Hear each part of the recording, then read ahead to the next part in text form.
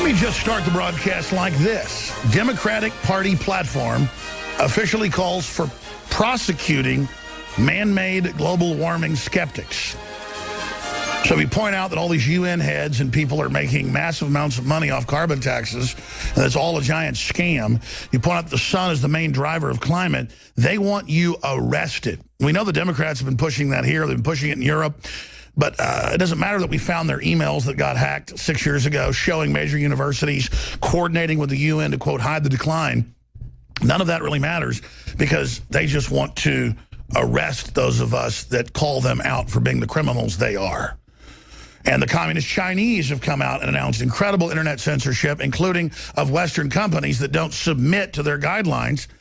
And Reuters and others come out and kind of write about it like it's an okay thing because they don't want to be censored in China. In the past, as bad as our media has been, they wouldn't join with the communist Chinese government that has mobile execution vans in every city killing political dissidents and executing you if they find out you're a closet Buddhist. Who have the Buddhists attacked ever?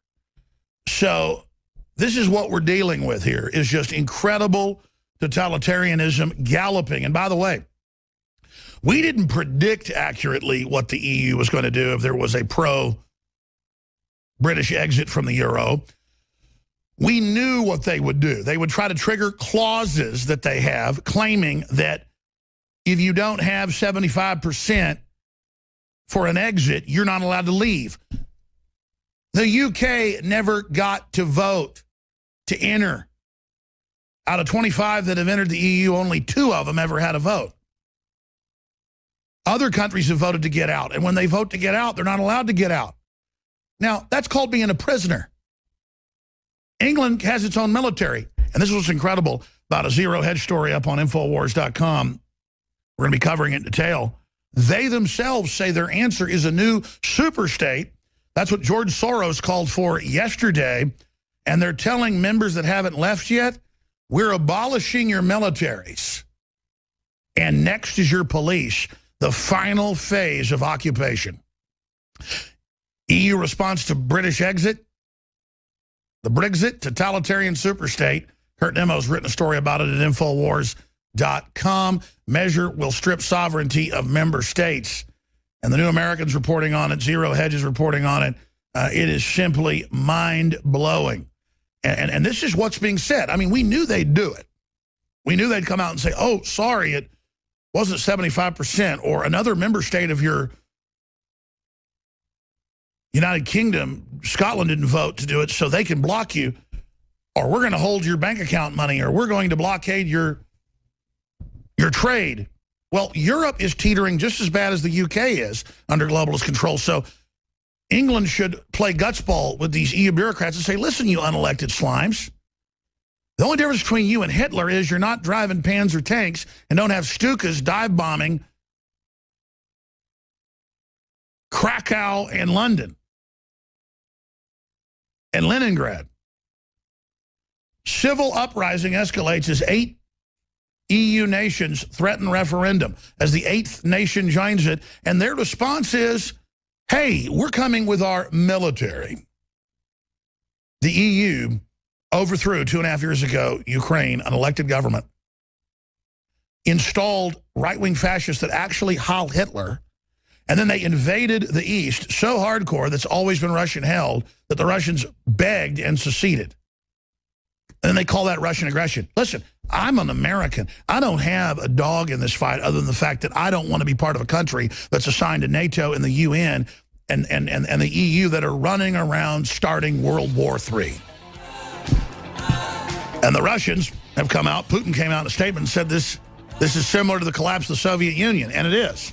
An unelected, criminal, totalitarian, socialist, communist, militaristic, power-grabbing, out-of-control organization. That fits the EU to a T. It fits the old Soviet Union to a T.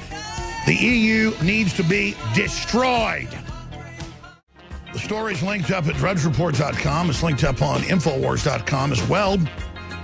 The Daily Caller. Democratic Party platform calls for prosecuting global warming skeptics. And they have the subsection there and even a video of them talking about how wonderful it's going to be. That is the criminal persecution of the American people in line with what the UN's been saying they want. If you come out and expose this criminal world government takeover that is to be funded with at least 100 trillion every decade off of carbon taxes with Hillary Clinton, Al Gore, Bill Clinton, most of the British leadership, Obama, the Rothschilds, the other classic elitist names, the Soroses, all standing to make billions apiece per year off of all of your carbon activity. And because they haven't been able to implement this all over the United States, I see it in Austin, I see it in San Francisco, particularly so-called liberal areas. That means brainwashed cult member, anti-liberal areas, zombie areas, fascist areas, slave areas where people love being slaves. They have carbon indulgences on their car, like you're paying it to the Vatican to stay out of hell or something, you know, Cicero 800 years ago. And it says, I pay a carbon tax to this private company. And then they offset what I'm doing, planting trees or whatever. And of course, it turns out almost all of that's a giant scam as well. But this is just where you pay for carbon taxes directly uh, to the London and Chicago and Frankfurt mercantiles and the Paris mercantiles for a giant commodities screw job a global commodities tax run and operated by private interest, tax exempt with diplomatic immunity. Of course they want to arrest you if you call these criminals. Simply mind-blowing. I mean, we told you it was coming. They have personally said that I should be arrested in major British newspapers. They say it on a weekly basis about Lord Monckton. They talk about Marc Morano. They actually had wanted signs in Paris when he premiered his film a few months ago there in Paris. And you're like, oh, they're just joking around. Uh, no, they're not. You saw what happened in Sacramento. Two idiot groups in a fight with each other. But here's the difference. At least the neo-Nazis were anti-globalists and understand this country's being captured. The useful idiot, racist uh, BAM group by any means necessary. That's really an anti-white group from my research. They ran around and began beating people with sticks and hitting them over the head. Uh, and so, wow, uh, the uh, white nationalists stabbed them back. And so I'll tell you who's in the wrong here. It's the uh, communists. And by the way, they are so Ford Foundation funded, it is just ridiculous. The image of the police, though, in their black uniforms, taking photos of who's stabbing who and who's hitting who uh, we're showing that right now on TV for TV viewers. Please never forget if you're a new listener, we're not just radio. We like to add an added dimension of documentation. Infowars.com forward slash show and TV stations around the country, cable stations starting to pick up the show. Haven't really gone to that phase of launch yet because I've been so busy uh, uh, getting new reporters and adding crew. and But we've got cable station in Houston and some UHF and VHF and cable stations around the country. It's more than 20 right now I know of, but we're about to do a big push and get hundreds. A lot of it's also funding, but I, am going to digress from there. Everybody knows InfoWars is exponentially growing and reaching more people, especially when it comes to the internet itself. That's why the federal government bought out by foreign interest isn't just uh, pushing with the Democrats to arrest people that talk about man-made global warming being a tax scam fraud. They are also coming out and pushing taxing by the mile with the magic boxes in the last 14, 15 years or so that magically fell into all the cars manufactured from North America to Europe to Japan to South Korea to China. Global standardization by accident of little boxes that you pay for as part of the cost of the car to tax you by the mile, but they're also going to keep the gas tax on top of it. I've been telling you that for 20 years it's now started in Europe. It's now started in many states like Oregon. Now the Washington Post announces the whole East Coast is about to go together in a giant screw job of epic proportions. And the attack on free speech just accelerates. But we're going to be looking at all of that. Speaking of the devil, ABC News reports, here's the headline, UN says more Central Americans headed to U.S., and right down in McAllen, Texas, where two of our reporters are today and are going to be coming on the broadcast, incidentally, where two of our reporters are right now, they just announced, oh, yeah, there's hundreds of thousands from Latin America. They just show up. They're illegal, the newscast admits, but then they're just set up at the bus station by the Border Patrol, and then they get given vouchers and they get sent to different areas of the country, just released out into the open, but sent to Democratic Party facilities to be set up, put on welfare, given driver's license. Remember a flashback about this two years ago, back in June of 2014? Jakari Jackson and others uh, showed you them admitting all this.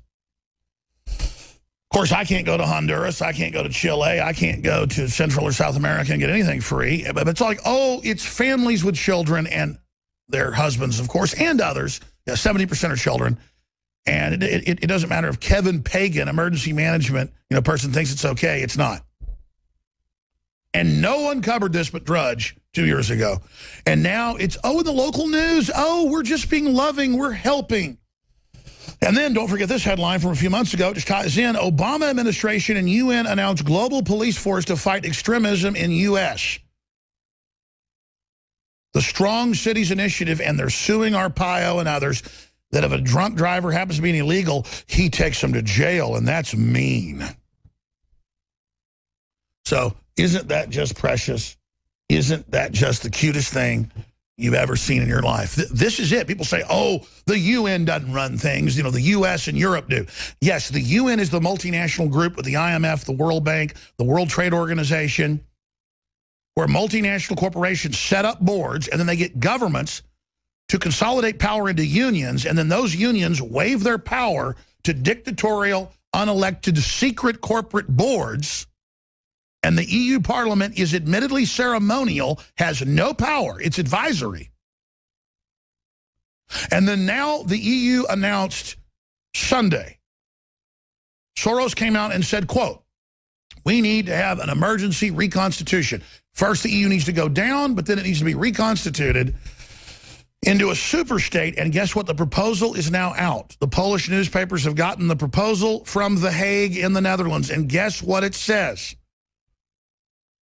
Members that are still in are having their governments dissolved and their militaries dissolved and are going under EU command. The militaries will still stand, but will now have EU commanders. That's just like when the Germans came into France and left the French army in place, but put their commanders in place. Because the public went along with it. They were called the Vichy French. And I hammer that because Germany didn't really beat France in two weeks. They didn't just really run over the Maginot Line and the Blitzkrieg. They had a deal with almost the entire general staff of the French to take over and turn power over to them and set it up in the south of France, and they did. But that's barely in the history books. It's an absolute incontrovertible fact. But that's what globalism is. Most of war is using your intelligence agencies to buy off foreign governments before you invade. That's what they did to Iraq in 1991 and 90 and 2003. And then they have Panetta, the former head of the CIA, come out when Trump talks about it and go, we didn't pay anybody off in Iraq. That's ridiculous. They paid Iraq off upwards of $60 billion, admittedly, before, during, and after that so-called invasion in the first year. That's admitted. But that's how dumb they think you are. And that's what they've done here. They've come in and bought off the government, and we're openly going under world government, and they have an Atlantic treaty merging the NAU that was signed in secret in 2005 in Baylor University in Waco, Texas, by Vicente Fox, Paul Martin, and George W. Bush. And it was even the local paper. They signed a treaty. It's secret. Then we, two years later, they are having the Banff meeting to ratify it in secret. Judicial Watch sues, gets 2,000 plus pages. I actually read or scanned all 2,000 pages and made the film Endgame. And I show the pages with them admitting stealth integration to world government with the goals of the total corporate rule, with the corporations voting, and then having the heads of state agree executively to follow it. And I made the film Endgame. Talk about sensational. That's how this works. That's how the TPP works. That's how all this works, and it's being done out in the open now. And their answer is now to hold Europe hostage and plunge their stock market. They're already plunging the stock market. You know, Soros is running around saying British exit makes EU disintegration irreversible. But again, on the ashes of it, he wants to build a super state. So some will say, well, then, you know, this is actually a trap. It's a setup. No, they're opportunists. When they start losing one angle, they jump to the other side. They're divide and conquer. It's full spectrum dominance. They fund ISIS and Al-Qaeda. They fight ISIS and Al-Qaeda. They fund the Arab Spring, then they fight the Arab Spring. Order out of chaos. But why we're winning is we're educating the public that there's really a corporate world shadow government who, by the way, wants you to be impoverished and controlled towards a eugenics, phased out, soft kill. That's not rhetoric. That's the truth. You're seeing it all manifest. Everything I've told you, word for word happening, because it's a game plan, not my opinion. I wish I could say I just envisioned all this and I was psychic. That's not the case. Everybody's got a sixth sense, but it goes beyond that. You got to know what you're looking at historically. And it's all here. You just got to admit it's happening, then we can beat it. But the good news is we're admitting world government, we're admitting it's totalitarian, we're admitting it's far removed, illegitimate, and lying. Once you get to that point, only dictatorship can keep them in place, and those always fall. And the EU is now announcing a military dictator. They're actually saying, prepare for us to take over your governments. I mean, this is sensational. It really is dizzying. Dizzying is the word. When I sit here every day at night, getting ready, doing research, during the morning, getting ready, doing research, coming in, looking at hundreds of news articles that they've printed off, many of which I haven't seen, trying to just gauge it all. And then going out and seeing the billboards and hearing the radio and seeing the, the entertainment TV shows and hearing people talk and seeing propaganda at every level and to see people captured in a scientific, technotronic technocracy. That's the elite's name for worldwide scientific dictatorship. Just Google Davos calls for scientific dictatorship. You'll get articles with them saying that six years ago. Club of Rome wrote about it in the 1963. I used to go to the microfilm at the UT library and pull this stuff out just to come read it on air. And people didn't believe me in 1996, 97, 98. So I said, I'm going to try to have a webcam that's good enough to show people these newspaper printouts and these documents. Because back when they thought they had the public in the 60s, man, they were like, we're going to have UN troops on the streets. We're going to take all the guns. Uh, we're going to end the family. This was in the Washington Post. We're going to have 10 FEMA regions. I wish I could find that. It's somewhere in my archives, which is a bunch of storage facilities. We try to consolidate from like seven of them down to three. And uh, the actual New York Times, actual New York Times. I had the microfilm of it, and then her name was Bernadine Smith. Uh, she ran the Second Amendment Foundation out in California. That lady mailed me the actual New York Times from 1937 with the 10 regions of FEMA. Folks, they didn't set that up till 1979. I mean, these people aren't playing around. And I'm sitting here. Eh, here's the Allen. Here's the allegory. Here's the parable. Here's the parallel. Here's here, here's the comparison. It'd be like if I was a police detective and they get a call about a home disturbance. The police go out there and a guy has killed his wife with a meat cleaver. They're going to go ahead and take him into jail. He's going to get charged with probably capital murder if it's if it's if it's premeditated. They go ahead and search the house. They go down in the basement and they see photos of all these women tied up. They're going to start pulling the floor out. And they find 25 bodies. I mean, there's not a debate. They found 25 bodies. And the neighbors, though, in most cases have Stockholm Syndrome or just are in total denial. They'll, they'll never believe Harvey or Bob was such a nice man.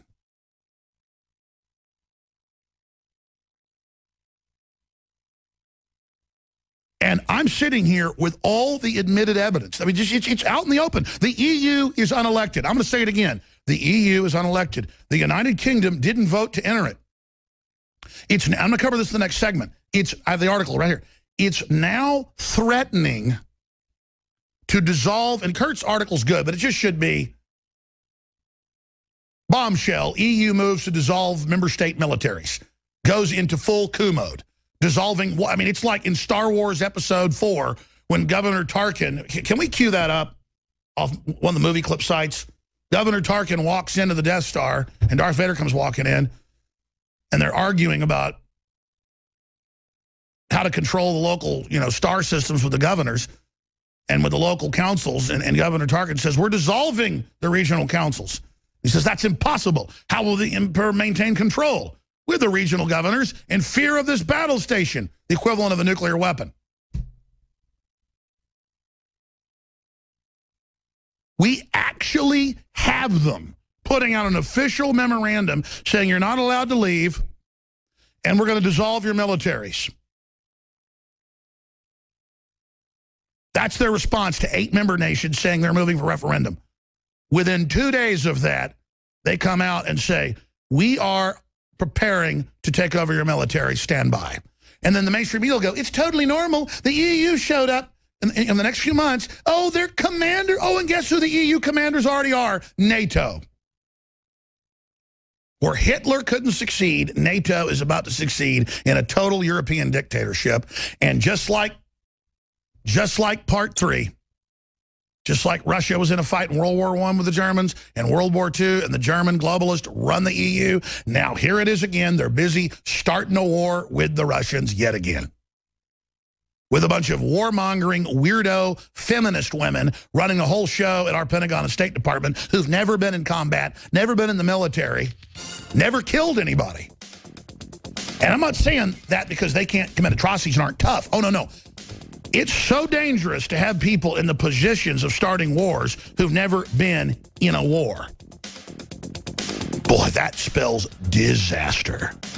You got a bunch of weird, cocky women with big, giant 10 carat diamond rings at the State Department talking about murdering Russians in body bags and swaggering around. That's crazy. Lord Monckton is not just the champion globally exposing man-made global warming and the carbon tax as a world government totalitarian fraud and taxation scam. He is undoubtedly the chief long-term uh, resistor of the EU dictatorship you you could say that Nigel Farage is now the leader of the anti-EU tyranny movement. And what's so exciting about this is they only began to be Eurosceptics, Monckton 30-something years ago, but Farage 25 years ago, they've only been really politically active 20, and they've already are the fastest growing party, not just in the UK, but Europe, and just had one of the biggest political victories for sovereignty and what this is going to lead to. It's equivalent to the Declaration of Independence, July 4, 1776. The will to do this, having the leadership, being in the right, will win the war. We're in the right, we can't lose. And this is as big as 1776 in the whole chain of Magna Carta, 1776, this event. And I'm not, I'm not just saying that. Even the globalists are saying this is one of the biggest events in history. We're going to explain why, but we knew this was coming. as soon as I saw this this morning, I went, oh, my God, Lord Monckton has hammered this over and over again, a plan to get rid of nation-state armies. Kurt Nimmer wrote a story where the Polish papers have gotten the EU plan in their, quote, emergency reorganization for a, quote, super state to now tell countries before they can leave, we're just going to take your military over. Why not? They already make all the laws and, and aren't elected. And then one of our writers put this report out June 23rd, Kit Daniels ran in and brought it to my attention. He said, Alex, we wrote about this last week. Proposed EU army hidden from British voters until after Brexit. EU army proposal to remain hidden from British voters until day after Brexit vote. This was the day before the vote. Ladies and gentlemen, this is so unprecedented. When I'm reading the actual EU proposal, I can't believe it. It's like seeing Hitler invade France or Czechoslovakia or Poland. I mean, if you were alive at that time, it's you're seeing it unfold. And you, I just don't know what to say at this point. I mean, I know they're criminals. I know they're tyrannical, but my God, oh, you, eight countries want to leave? We're taking over your militaries. What? I, I mean, we're going to arrest Germans that criticize open borders. We're going to arrest Swedes. We're going to Lord Monckton in just a moment. I'm not going to belabor this, but we're listener supported. We're not sponsor supported. 80% is listener. We don't just have the very best products at some of the lowest prices out there. We are the tip of the spear. Worldwide, InfoWars is reaching the most people when it comes to fighting the New World Order. Uh, Drudge overall reaches a lot more people in general, and, and he's fighting them as well, doing a great job. I'm not here bragging, hey, we're one of the biggest ships in this fight. I don't like being the main target. I can tell you right now, I want to see other people come on the stage. Uh, but look, the Democratic platform now officially calls to pass laws to arrest climate change deniers. That is Daily Caller in it today. That's now in the platform. They're wanting to arrest this man every day in the newspapers. Lord Monckton, they're coming for us. And people say, well, we better give up. No, when they hang up signs in Paris saying arrest Marc Morano for his film, that's a badge of honor.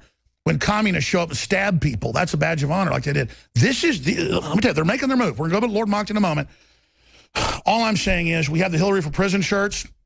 They sold out faster than I thought. Uh, version 2, the collector's edition. We've got smalls and XXLs, and they're gone. There's a few hundred left. They're going to be gone. An 18-wheeler shows up, made right here in America. Wednesday, and of course, we, we sold out because they're 75% off when you buy a second shirt, 50% off when you buy one. They're at cost at $5. That's that's 75% off um, what they normally are.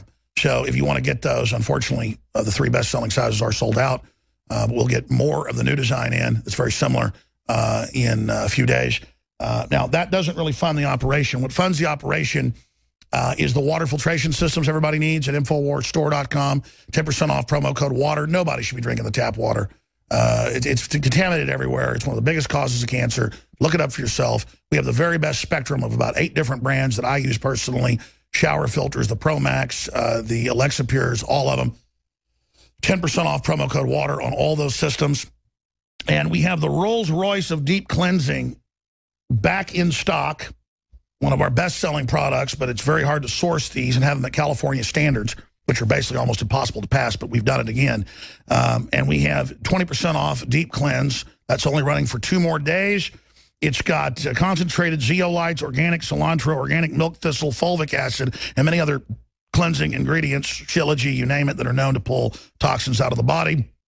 Infowars, life.com, InfoWarsStore.com. But this is such an incredible juncture. You see our reporters about to be, well, they're actually in the valley now, where they admit the UN is running a program bringing refugees in from Latin America with no background check, with TB, and, and they had been on the news. They're illegal. They're loaded on buses and shipped to Democratic Party facilities around the country to be given ID cards. That's on ABC News like it's a good thing. I mean, what you see in Europe's happening here by stealth. So our reporters are down there. Our reporters are at Bilderberg. Our reporters are out in California and folks are being attacked. I mean, they're everywhere. We're, we're building a true news organization, and it's your support and spreading the word that's doing it. So censorship's coming in. They're trying to hand the internet over to the UN right now. Even though the United States and England, as usual, built it, they are handing it over to the UN and the EU right now. I, I mean, that's that's in the Associated Press. Internet being handed over to globalists. I, I mean, see, the move is happening now. Now, I'm going to give Lord Monckton the floor until we end this hour. I appreciate him coming on um, on very, very short notice. His website is scienceandpublicpolicy.org, and he's published many of the top peer-reviewed papers in the world. Uh, some of the top read, in fact, the top read paper on climate change in the world is his paper. Uh, that's subscribed to by tens of thousands, and they want to arrest him for that.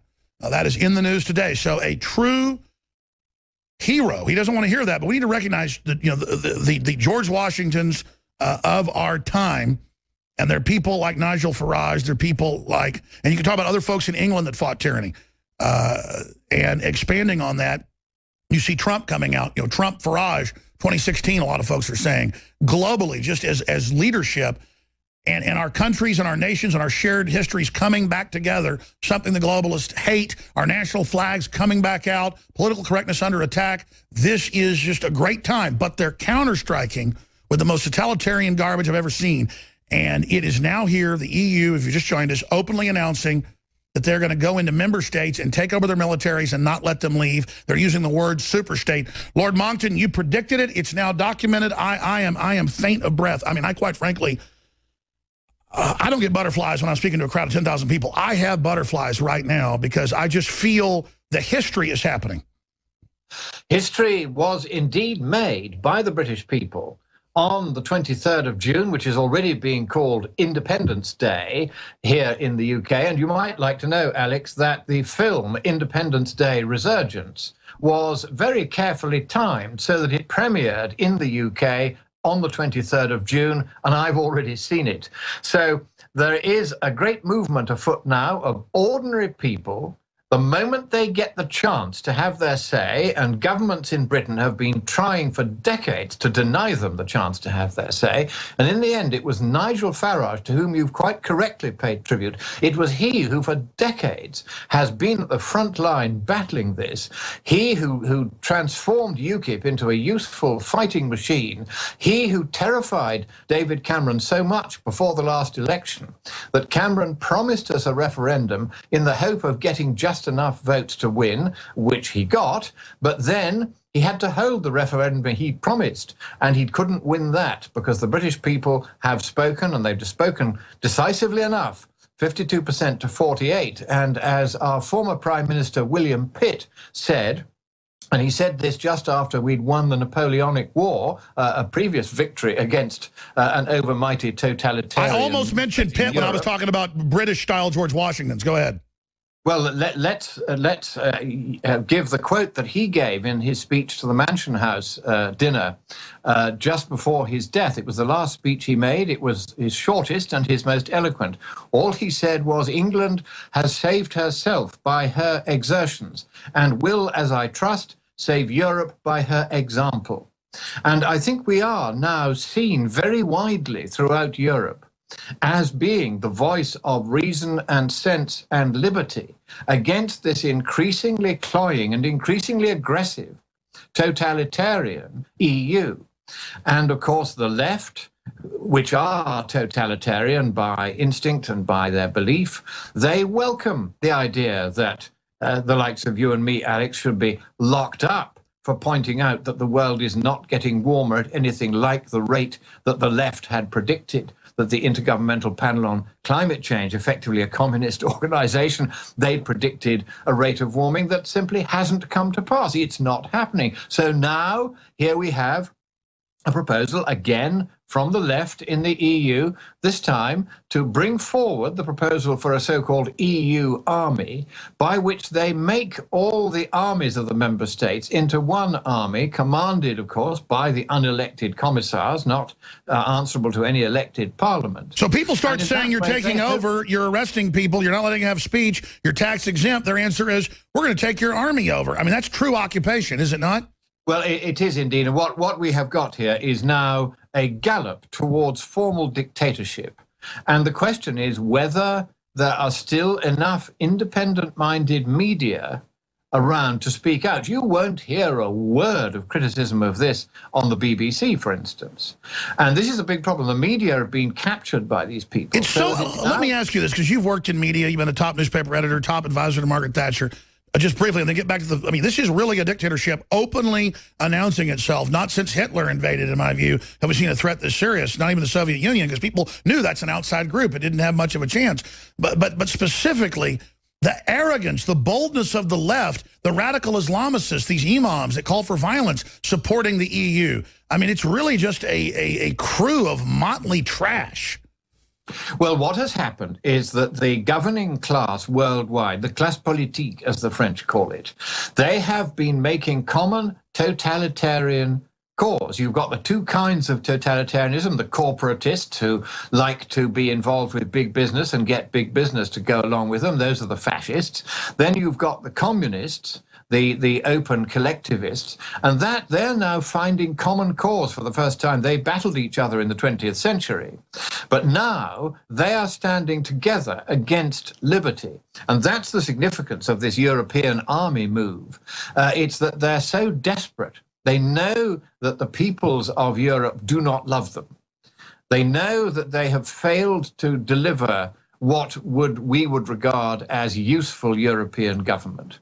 So they are now panicking and saying, how can we cling by the fingernails to this empire of bureaucracy that we have created, even though it's hated by the peoples of Europe? And the answer, of course, is to get the governing elites of Europe to join together, just as they did in trying to bully us into voting for uh, staying in the European Union, and that failed. So now they're going to do it by force. Just as in the United States, as you rightly point out, there's a growing movement, and it's now almost official part of the Democratic platform, that anybody who actually comes out and says, hang on a moment, there are serious scientific problems with this climate change nonsense, can be arrested and detained and put on trial for that. But here's the difficulty.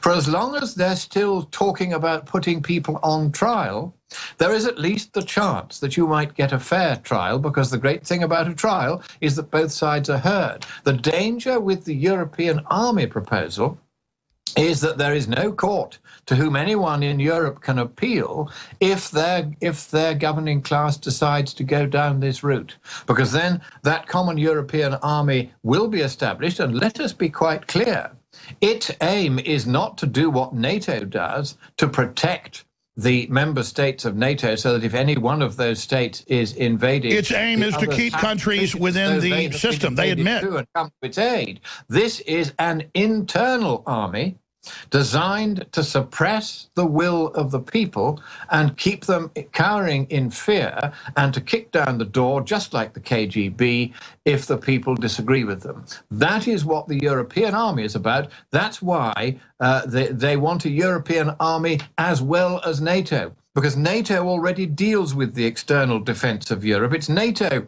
that's kept the peace and kept the Russians and everybody else at bay. So why do they need a European army as well as NATO? Answer because NATO is explicitly forbidden to police the internal affairs of member states. It and member states contribute to NATO. It's it's not commanded by NATO itself, so it goes back to the more republic uh, strategy, uh, but in a military coalition, the North Atlantic Treaty Organization. Now, Lord Monckton, we're going to skip this network break so we have more time. I wanted to get Kit Daniels briefly, one of our writers that's been writing about this. Uh, and, and, we have another writer, um, Clifford Cunningham, who wrote about this last week, proposed EU army hidden from British voters until after Brexit. And then right after they they bring it out, uh, just showing the amazing stealth of this. Kit Daniels? Yes, Alex. Uh, yesterday, uh, it was on Thursday, I believe, I posted this article from our new guy, uh, Clifford Cunningham. And now this is before Brexit even happened. He said that as citizens of the United Kingdom prepare to cast their votes in a nationwide refer referendum to decide whether or not to leave the European Union, a plan detailing the initial framework of the creation of the U EU army is being kept hidden from the public until the day after the vote. So now the EU bureaucrats are claiming that this whole EU army program is a response to Brexit, but this proves that it was not at all. They had this plan for months. But that exactly, but but I mean, isn't it even more outrageous, Lord Monckton, than going back to Kit briefly? Daniels, that that their answer is we're not going to let you leave. I mean, I'm reading the draft of it, and it says, we're going to keep you in. We're one shared common group. Basically, we're going to make it harder for you to leave. They're admitting that, hey, you didn't get to vote to enter this. We're unelected, and we're going to let you leave.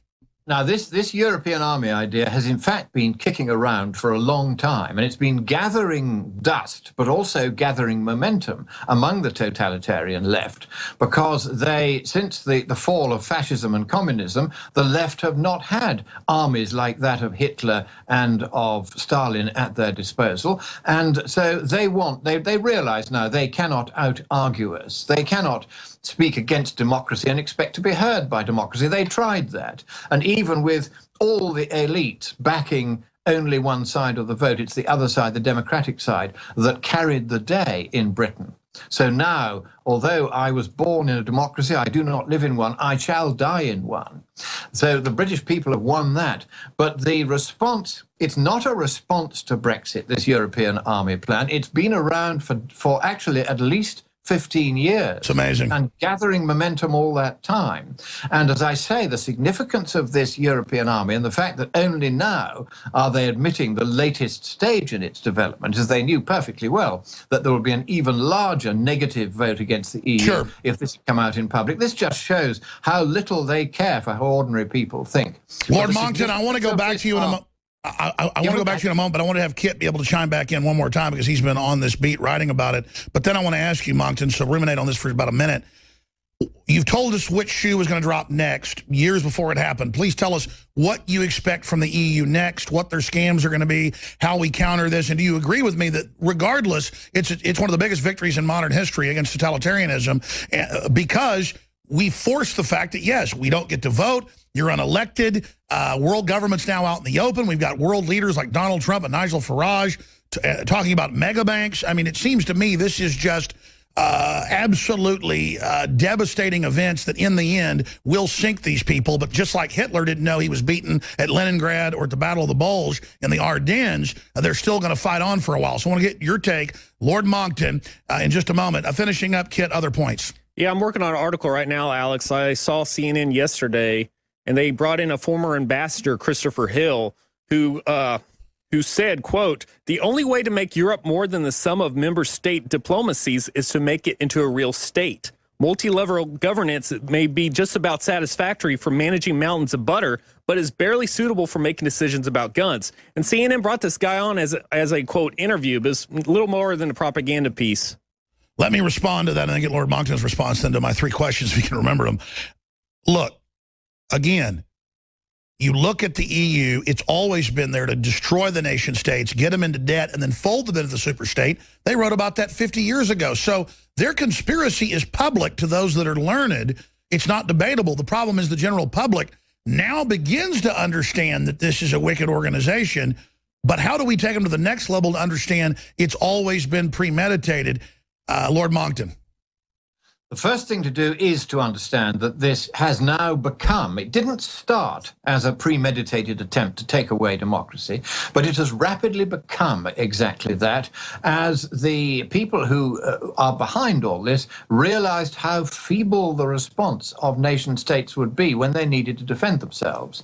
And already what is happening as a result of this vote is that there are about three and a half to four million signatures on a petition demanding there should be a rerun of the referendum referendum in Britain because they don't like the result. It'll be just like Denmark and Ireland, where they were made to vote again and vote again until they got the result that the governing class wanted. And only then was that referendum regarded as final. The same thing is now being attempted even with the British people. And I can tell you, we're not going to like that very much. We are going to oppose this very vigorously. The more the governing establishment tries to discredit and dishonor and not to implement that referendum, the more strongly the support for freedom will grow among ordinary people. And eventually, the Conservative Party, which is deeply divided on this, and half of which still wishes that it could overturn this referendum and simply carry on as though it hadn't happened. You've got the whole of the Labour Party, which is effectively communist under its present leader, Jeremy Corbyn, now in disarray. But the disarray is mainly sure. due to an argument about how far they should push a reversal of the people's will. Okay, but am I right though that the, the parliamentary bill that will be necessary to break us free of Europe. The referendum on its own doesn't do it. Parliament then has to do the people's will. And with the likes of the Labour Party and the Scottish National Workers' Party, all these parties that are left wing, the so called liberal, so called Democrats, who are neither, the so called Greens, who are the destroyers of the planet. These people, they're all on the far left from. from I understand, but long term. They are going to fight and fight and fight to make sure that they will use the majority that they can muster in Parliament, together with a whole lot of conservatives who aren't really conservative at all, to vote down any bill to give effect. So that's their next scam. Let me ask you this then. Union. That's going to be the next battle. Sure. Uh, I mean, just brief questions here fast because I want your view on this. But do you agree with me, though, that the genie's out of the bottle? It's going to be a long fight, but there's no way, uh, I mean, unless it's a total dictatorship, that they're ever going to be able to keep this thing in place. How long until you think Europe finally falls apart? The people have spoken here in Britain. They haven't been allowed to speak almost everywhere else. Where they have been allowed to speak, they have tended to uh, be told to go and uh, vote again and vote again until they get the answer sure. the elites want. That technique will no longer work. There is now a need for something I've mentioned before, which is an international grouping to advance the cause of liberty. No longer, if we stand alone as national parties, will we be strong enough to defeat. That's my next question about Trump. Totalitarian monster. You've talked about an open society of governments and peoples working together in shared cause so that the globalists just don't act like they're the only ones trying to have humanity come together. Why have we given them that power? We need something to counter that. We do. We now need a, a Freedom International. I don't know what we'll call it, but something like that, which uh, is a, a, subscription membership party which everybody joins from America, from Britain, from all the other countries of Europe and the Commonwealth and everywhere else where liberty still matters. Because if we don't stand together now, then we'll fall as uh, I think it was Benjamin Franklin used to we'll say. hang separate. We must all hang together, or assuredly we shall all hang separately. And, and, and listen, I mean, Nigel Farage, uh, I, I, mean, I cannot stress, and yourself and the rest of the party, UKIP, coming from nowhere, now the fastest growing party in Europe, uh, other parties joining, other parties picking up the nationalist rhetoric. Uh, this is beautiful. Le Pen, all the rest of it. I mean, this is clearly rising, and globally, this could bring in the new renaissance. Remember that this is not a nationalist movement, UKIP. What UKIP is, is a democratic, freedom loving movement. We are not there to say a nation state is the only way we can conduct our affairs. We are there to say that a European superstate that we do not elect and that our people cannot control, that is not the way forward for Europe any more than it is for our country. Where they we arrest people for their speech, where they where they exempt themselves from taxes. I mean, it's a new royalty, isn't it? They exempt themselves from taxes. Worse, they exempt themselves also from civil suit and from criminal prosecution. And the, the people who run the the uh, the central stability. Yeah, yeah tell folks who these new sovereigns are on these on these bureaucracies and how they set those up briefly. I mean, this is amazing. Well, for instance, the the European Stability Pact is a good example. This is the thing that was intended to address the collapse in the euro, which is still, of course, collapsing and will collapse still faster now that Britain's voted out. But uh, they, they set up a governing body of absolute bankers, and these bankers have, have been given by the treaty establishing the Stability Pact total immunity from civil suit or criminal prosecution for any actions they take. And one of their actions that they are empowered by this treaty to take is to order any member state of the Stability Pact, fortunately not including Britain, to hand over any amount of money that they demand. That's the bail-in. As soon as they demand it. And that's how they're and able they to install leaders, too. That's how they're able to tell uh, you know, places like Greece, uh, or Italy, hey, you know, here's your new leader. Back in 70 seconds with final comments from Lord Monckton and Kit Daniels. This is so incredible. World dictatorship is their goal. Telling you, it's amazing. Stay with us. All right. Uh, again, I get upset. I start hyperventilating when we sit here and see open tyranny being set up and the general public's in a coma. I don't normally disagree with Lord Monckton because he's one of the leading experts on the uh, EU tyranny and advised Margaret Thatcher on it to oppose going into it and you know, spoke out against it. I mean, this is an unelected bureaucracy of mega banks taking over countries and installing leaders. But just a closing comment from him and then one from Kit Daniels, ahead of our next guest. We're going to Supreme Court rulings and, and, and more on Brexit uh, coming up. I look at the euro, how they claim they set it up as a you know, steel trade deal, an economic commission and all this. And I've seen some of the leaders of the euro admit it was set up to consolidate control. I think it's been a tyranny from the beginning and and, uh, and certainly is a naked tyranny now. I mean, why do you say it wasn't started as a tyranny, Lord Monckton? Originally, at least this was the official declared purpose, let's be clear about this, as a means of, it was called the European Coal and Steel Community. Its job was to make sure there was enough coal and steel to rebuild Europe after the Second World War. That was its ostensible That was the Treaty of London in, the, in 48, wasn't it? And then in 56, the Treaty of Rome. And the Treaty of Rome was where it began to diverge from that original purpose. And because the treaty uh, that set up the coal and steel community was a purely technocratic treaty just to make sure there's enough coal and steel to go round. That didn't need to be run democratically.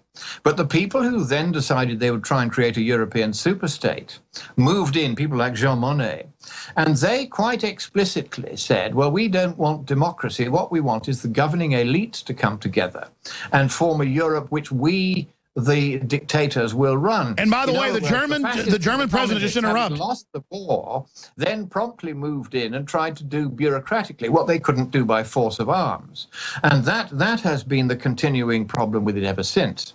And that is why, in the end, the likes of me, who at first were in favor of the free trade area, which the European Union originally was when it was just the European communities, we turned against it when it began galloping towards being the, the super exactly. that everyone can now see it becoming. And in closing, let me ask you this question. Uh, Infowars.com story. German president, there's video, says the elites are not the problem. This is a quote. The populations are the problem, close quote.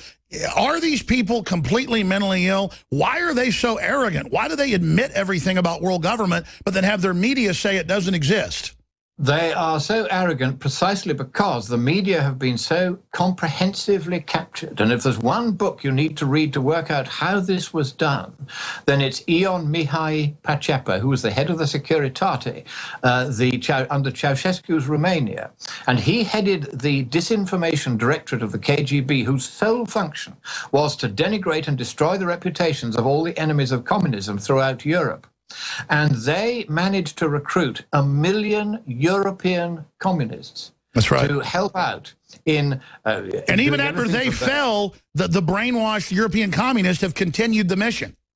They have indeed continued the mission, uh, even though Pacepa eventually defected to the West and wrote a book saying that there were a million of them. When I tell people it was that many, they express shock and they just think I'm some kind of Reds under the beds merchant. But the phrase Reds under the beds was invented by Pacepa. It was invented as part Well, sure. They the declassified a bunch of KGB files a few years ago and it was all documented. In fact, why don't you it's review that out. book for us and come back on and do a full hour about the controlled media in the future? Scienceofpublicpolicy.org. We salute you. Congratulations, Lord Monckton. And thank you for your fight. It's got to feel good to come from nowhere in the last 30 years and you and Farage and others to be leading a global movement uh, that I just feel honored to be part of, sir, and, and Trump is as well. Well, God bless you and thank you for your help, Alex. It's been absolutely vital. Well, thank you. It's amazing. Well, we're not lying down, that's for sure. Uh, Kit, uh, thank you for riding shotgun with us. More articles at InfoWars. Quick comment, uh, Kit Daniels. Well, it's interesting, Alex. You said earlier that the EU is a Nazi program. Now, it's interesting to point out that the uh, Nazi Germany was not a technocracy, but they did put technocrats in power. And that's what the Trilateral Commission grew out of in the 70s. You know, you had two separate movements, the U.S. technocracy and the German technocracy. The German technocracy is what survived. I think the uh, U.S. technocracy died in the 30s at the outbreak of World War II. So yeah, it's like not uh, Adolf Hitler was the last person to create a European superstate. So yeah, this is a Nazi. It's program. incredible. Thank you, Kit. Thank you, Lord Monckton. In 2007, I shot a whole bunch of videos. We probably wrote 10, 15 articles, had guests on. The British Ministry of Defense came out and said that by 2016, 2017, they began uh, to believe that global collapse would happen and that hundreds of millions would starve to death. There'd be huge mobs all over the world, uh, basically burning things down. Uh, I didn't say that. I'm not really a fear porn dealer, uh, but I do respect the British Ministry of Defense. Uh, and a declassified portion of that 23-page report was put out. The London Guardian picked it up. The headline was Flash Mobs and Brain Chips in your future. Then about two years later, it turned out that was a report on a U.S. report that in 2009 got partially declassified, saying that global food production and other issues were going to cause a massive deficit that would begin in Africa and the Middle East and cause revolution. And they predicted it around the year 2010, which happened right on time. And then it went on from there to describe the rest of the collapse of the world. I was attacked by the New York Times, you name it, that I, I was the fearmonger saying that. It's like when they have a major publication come out like the Army Times and admit they're doing Army drills, and we point out, hey, it shows the U.S., uh, you know, as their target and says Texas hostile. Is this more conditioning to accept military on the streets? And then they say that I said they were going to take over a few years ago and kill everybody. That's not what I'm saying. I'm saying what they're preparing for. And I know a lot of military people. You see a lot of them on the show. And they talk about the preparations for civil unrest. But hey, Vice of HBO has come out and said it. Oh my gosh, Drudge Report has two links today. It's up on Infowars.com as well. And we're going to our guest. FEMA contractor predicts social unrest caused by 395% food price spikes. Now, we predicted a 30% spike in the next year a few months ago when we offered 30% off are to 40% off on InfoWars Select, super high quality storable food powered by My Patriot. We, we, we private label to give you the lowest prices. It's already the lowest prices at its regular price, but we're doing 15% off. I saw this this morning, and I said, look, you know, th this will sell food. People need food. And that helps support the broadcast. It's a win-win. But I said, this is scary. And I've read this story several times. We're going to cover it after Joseph Farah leaves us. But uh, the U.S. national security industry is planning for the impact of an unprecedented global food crisis lasting as long as a decade. That is the exact Pentagon report 2006, British report 2007. According to reports by government contractor, the studies published by the CNA Corporation, December 2015, oh, you just learned of now, unreported until now, describe a detailed simulation of protracted global food crisis, and it goes on. Yeah, and it all starts in 2016, 2017, accelerates through 2020 to 2030. We broke this. We've basically broken everything. And, and guess who else has broken all this? WorldNetDaily.com. And, and listen, I don't get paid to say that. Joseph Farah, when they got the, and I'm not kissing, he hates this. He wants to come on and cover news. He says, please don't talk about me. He said this before, Alex, but I'm going to do it. Because I got to just call out these heroes like Drudge and Lord Monckton and Marc Morano and others.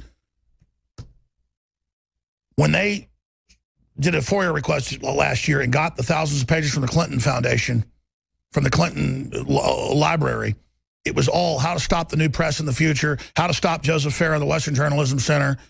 Because if Joseph Farah succeeds, it'll change the face of media and there'll be new independent media. We've got to block liberals and conservatives. We've got to call them conspiracy theorists, order the controlled media to do that. So you, we literally are getting the guy on that led the way to what Drudge was able to do what we've done and what you're able to do. Some people say, well, I hope Drudge gets shut down by the Federal Elections Commission. I hope you do. I'll get bigger. No, they'll shut you down too. And now they're handing the internet over to the UN. That's in the Washington Post today.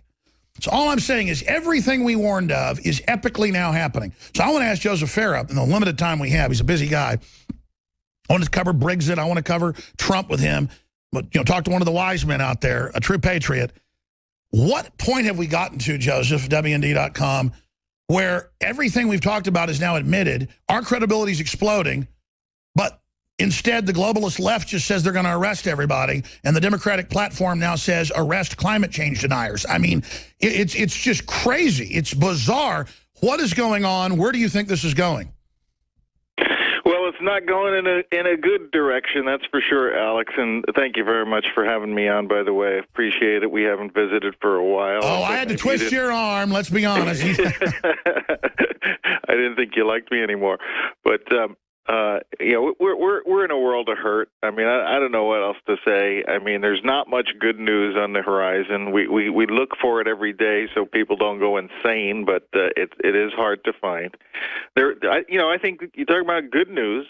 Uh, you know, I think what we saw happen in Great Britain uh, uh, last week was was some good news. You know, uh, I think I think the people, and it's not just people in the United States, obviously, are beginning to see so much of the kinds of things that we've been talking about, the, the terrible direction we've been going in, and they're reacting as best they can. The question is whether you know the ruling authorities are going to pay attention uh, to the will of the people uh, we've got an election coming up this year. I think, as as far as that goes, uh, I you know, in the past, uh, you you could argue whether there was a dime's worth of difference between uh, the Republican nominee and the Democratic nominee. We we talked about that in 2004 and 2008 um, and uh, 2012, and uh, you know, it was arguable. Uh, it's not. It's not even arguable. It, it, it's not in this election, there's trillions of dollars worth of difference between Donald Trump and Hillary Clinton. Would you agree? Oh, there is light years of difference, and, and we see the establishment showing that. I mean, they're they're they're so afraid. Why are they so afraid of Trump? Uh, because he cannot be controlled. I mean, eh, you know, this is a guy who, when he talks to the American people, they listen. Uh, he has, and they, you know, the media cannot control this guy. When I say he can't be controlled, I'm really talking about the media because what are they going to do? They have to stop covering him. They have to stop putting him on TV. That hurts their ratings when they do that. You know, now you're hitting them right in the bottom line. And this is what is so spectacular, I think, about this election. It's such a quantum difference from from you know the recent elections we've seen over many many years. And he uh, does know his timing because all over the world, nationalists and patriots are getting in. There's a populist surge. So that was my earlier question. The paradox of huge global awakening, world government out in the open, mm-hmm. totalitarian, mm -hmm. and, and so people are really waking up. But at the same time, the left is re-entrenching and just getting more violent, more bizarre, more mentally ill, more anti-free speech. I mean, you know, I've been a big critic, uh, critic of the Republicans, just like you've been, and, and, and some fake conservatives. But with the left, it seems like they've collectively gone completely insane. Well, that's the danger. We've always, you know, we've always seen the totalitarian nature uh, of this, you know, movement that is they call themselves progressives. I love that. Put that in, uh, between quotes. Uh, you know, what what are they progressing toward is the big question.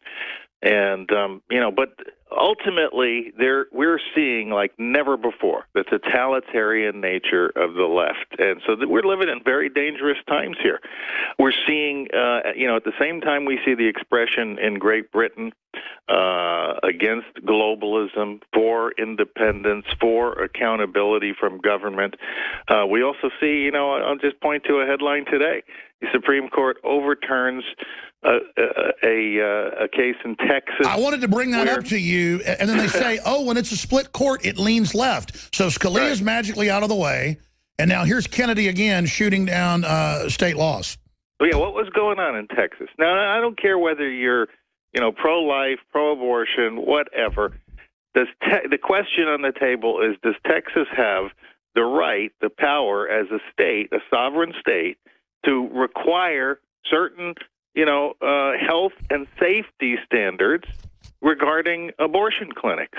That seems to me to be a, no. Yeah, there's more regulations on a Baskin Robbins than there is in a mortuary.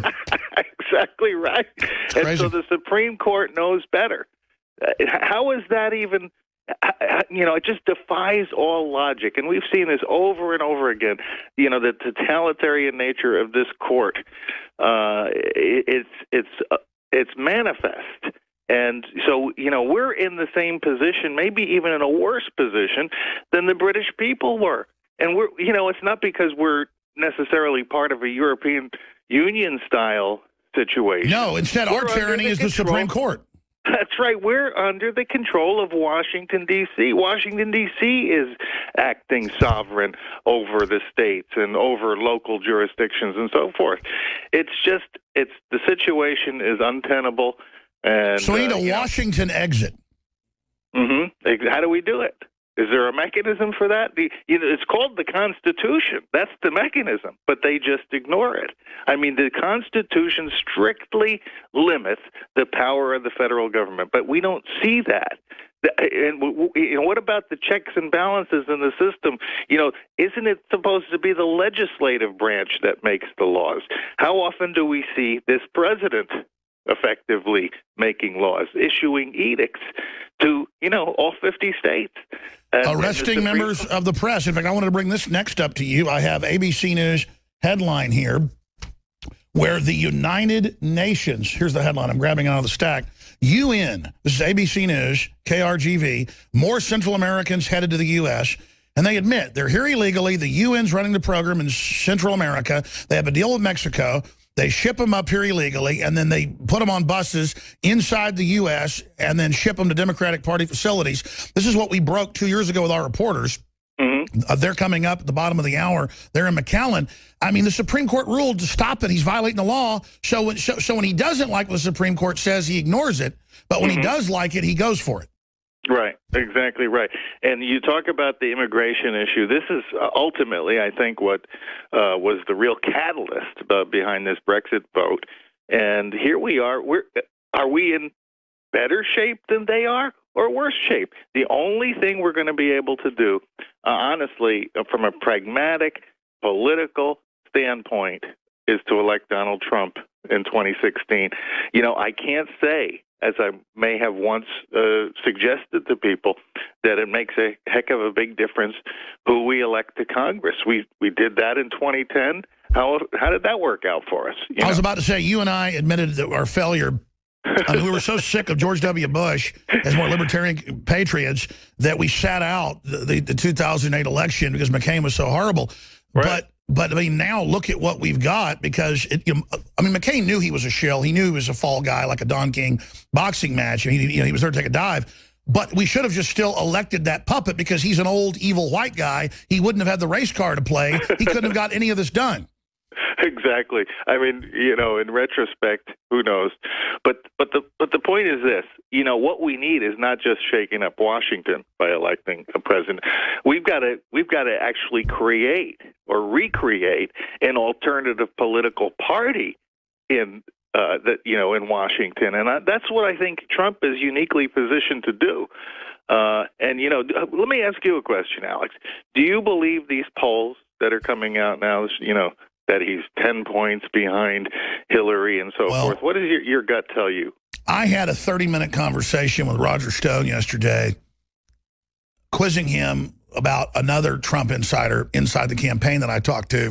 Mm -hmm. And he confirmed a lot of what I was told. And it was, it was, it was so staggering that I wrote a bunch of notes and then never have, I haven't even covered it yet. I was thinking about covering it next hour, writing an article about it. Because, you know, you got a big story and you don't even know how to mm -hmm. deal with it. It's right. so big. But uh, he was uh, he was confirming some of the internal polling they've done, showing that Trump's pretty much in a dead heat everywhere. If they just do a fair poll, you know, if they cast it the way Hillary's casting it the other way, he's like 10 points ahead. Right. And, and he went on to say in a lot of key states he's way ahead, but he said many people are so intimidated uh, uh, people ask, why is the left out stabbing people? Why are they out attacking? Why are they beating up old ladies when it makes them look so bad? They don't care. They want to scare you away from coming out to vote. They want to scare you from saying you'll, you're for Trump.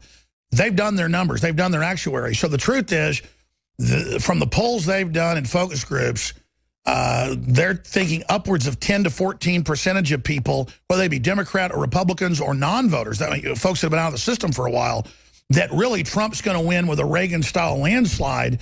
Uh, but they think Hillary is just trying to act like she's really winning and having the media say it because they're looking at probably stealing the election. Well, that exactly uh, that is exactly what I have been saying now for for some time. I believe that Trump can can cause a political realignment in this country like we haven't seen since 1980.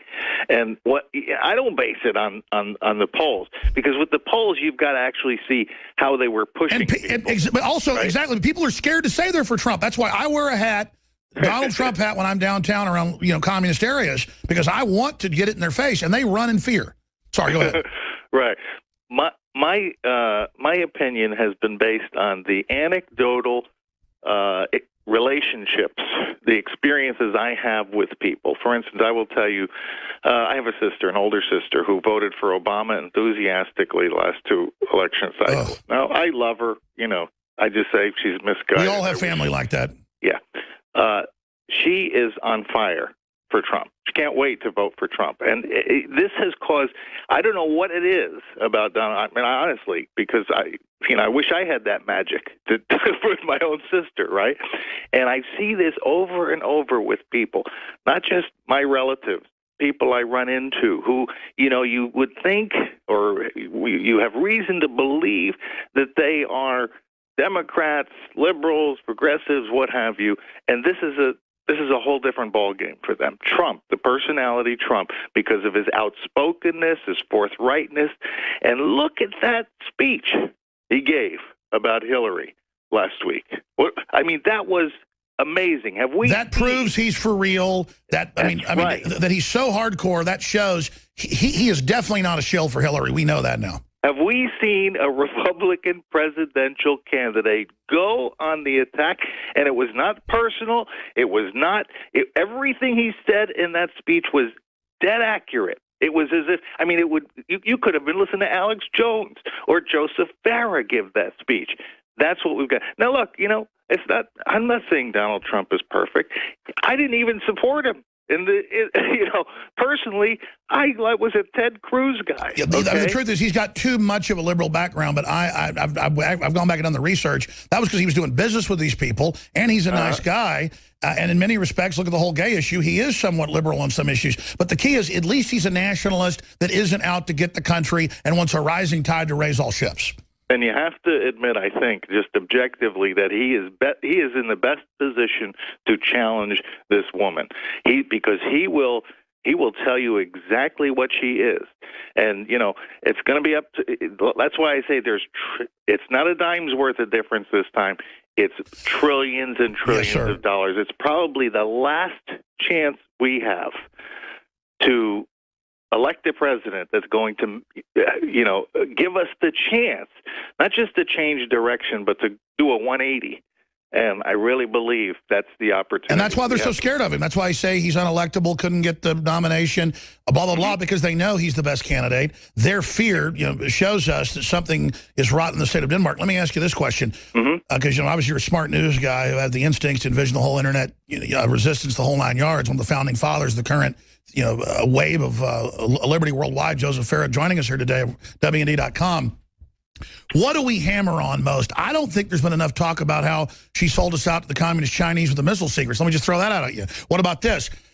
What about hammering the point that I know you've done this, but but I mean that she gets $100 million from Gulf states that keep women as prisoners, but then runs and, and executes homosexuals. Then she runs around to gay pride parades. I mean, the hypocrisy. What about hammering her Brian Williams moment? What do we do to reach out to her idiot supporters and get them out of their stupid trance? I think that again, that speech by Trump was so perfectly crafted uh, to do just that. To turn people who, you know, out of anger, whatever, maybe ignorance, supported Bernie Sanders, uh, you know, in the primaries, but they know what Hillary is. They know she is as corrupt as anybody who's ever run for president before. And, you know, if they're going to vote at all, I think a lot of them, Sure. and the polls even show this, that a lot of them will turn to Trump. That's why I say I think that we're to- we're looking at a major realignment here. Uh, it will not hurt. Uh, you know, a lot of I got a lot of friends, and even relatives, who work in government in Washington. You know, uh, under, Sure. uh, under the dome, and they're worried about you know losing Congress. I, I think Trump's going to help every Republican. I agree. Let me ask you the time we have left. What happens if they steal the election from him? I mean, don't they know he's just a manifestation of rising nationalism, populism, and disgust with corruption? Well, he's the he's the biggest fear that Washington insiders of both parties have. That again That certifies him. for me that we're we're on the right track here with Donald. I totally agree. But what happens if they do steal the election from him? Well, I mean, if they steal the election from him, it's all over. I mean, it's, you know, America's over. Quite honestly, right? I mean, what what what can I do? I agree. That's not rhetoric. We've really reached the point where it's do or die. Yeah. Oh, no question about it. In closing, And by the way, I want to ask you another question. Sure. I love interviewing you on your own show. What do you make of this? I'm sure you've seen it. This UN military convoys uh, all over the country. Now they're in Virginia, but of course we've seen them in many, many other states o- over the years. What, what What do you make of this?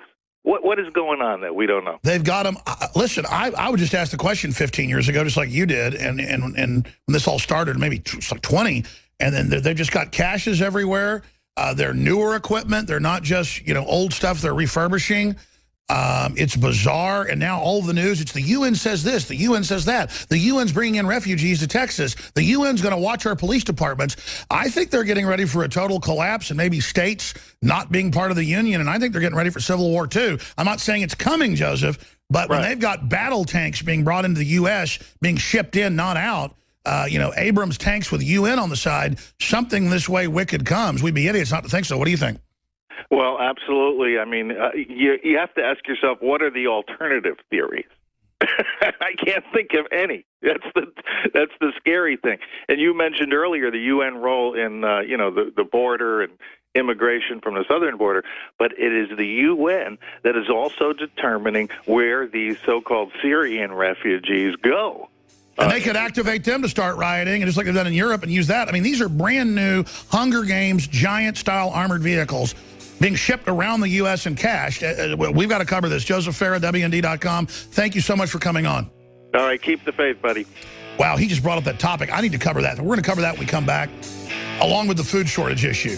395% global food shortage. That's from FEMA. We're on the march. the Empire's on the This run. is hardcore. Alex We're here broadcasting worldwide.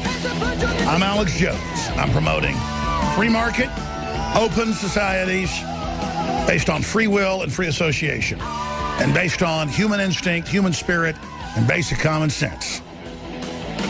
That is all 180 degrees the opposite of what the globalists are pushing. You know, I remember having Dr. Blaylock on like 20 years ago, top brain surgeon. He was still a brain surgeon at the time before he retired.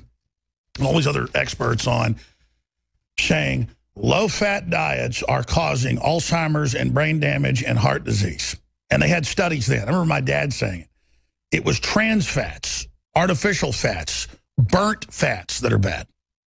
Oh, but now it was in the New York Times last week. I have the article and the Huffington Post. Oh my gosh, women need more complex fats because it's good for their skin and your brain. Oh my, let's give them a Pulitzer Prize. Zuckerberg came out on Friday in the New York Times and it said, Zuckerberg covers up his webcam. That was the headline. You should too. About 19, 20 years after I pioneered it and have been made fun of at least 18 years ago on BBC documentaries. Alex, Jon Ronson asks, why is your webcam covered? You think they watching you, they? Oh, the little polywash think he got a little, little bit of a problem, huh? Oh, you think little green man won't you too, huh? And werewolves as well. He once asked me, he goes, do you believe in werewolves? Because we were driving through this fog area, and I go, no, I just said it looks like where a werewolf would live. Man, look at that, like six foot thing. You afraid of the, you afraid of the werewolves? And I said, uh, yeah, I'm real afraid of the werewolves. He actually put it in his book that I'm afraid of werewolves. I love it. I don't know. It's just funny. I actually like Jon Ronson. We should get him back up on the show sometime. You afraid of the Alex? He didn't really speak with that Oliver Twist Cockney accent, but it's fun to talk like that, isn't it? But there's something intellectual about almost the calm, lazy eyes, just of, a, of the left. We don't want to arrest you unless you deny global warming. Oh, no one really wants to arrest you. Oh, actually, we do now. That's liberal. There's a jail cell waiting for you. It's like Bill Nye the Science Guy. Marc Morano goes, you don't really want to arrest climate change deniers. He goes, yes, actually we do. We're going to arrest you. wow, you're really dangerous. but it's easy, you see. They think if they go with the establishment, they end up getting power. And, and you know what? You would in the past when the establishment still had viewers and still had supporters. You don't anymore our reporters are going to be on the ground in McAllen at 1.30. So definitely look for that with Jakari Jackson. And what camera person went with him? Michael Zimmerman, what a great guy. And Adan Salazar. I'm glad Adan was able to go. I, I, saw this story yesterday morning, and I called uh, Buckley and Dew up, and I said, please, whatever team is ready to go, get them to the border. And then I, am not even exhausted an hour and 37 minutes in the broadcast. I, I just, I've talked a lot about this. When a certain constellation of news lines up and confirms 20 years of research, worse than we thought,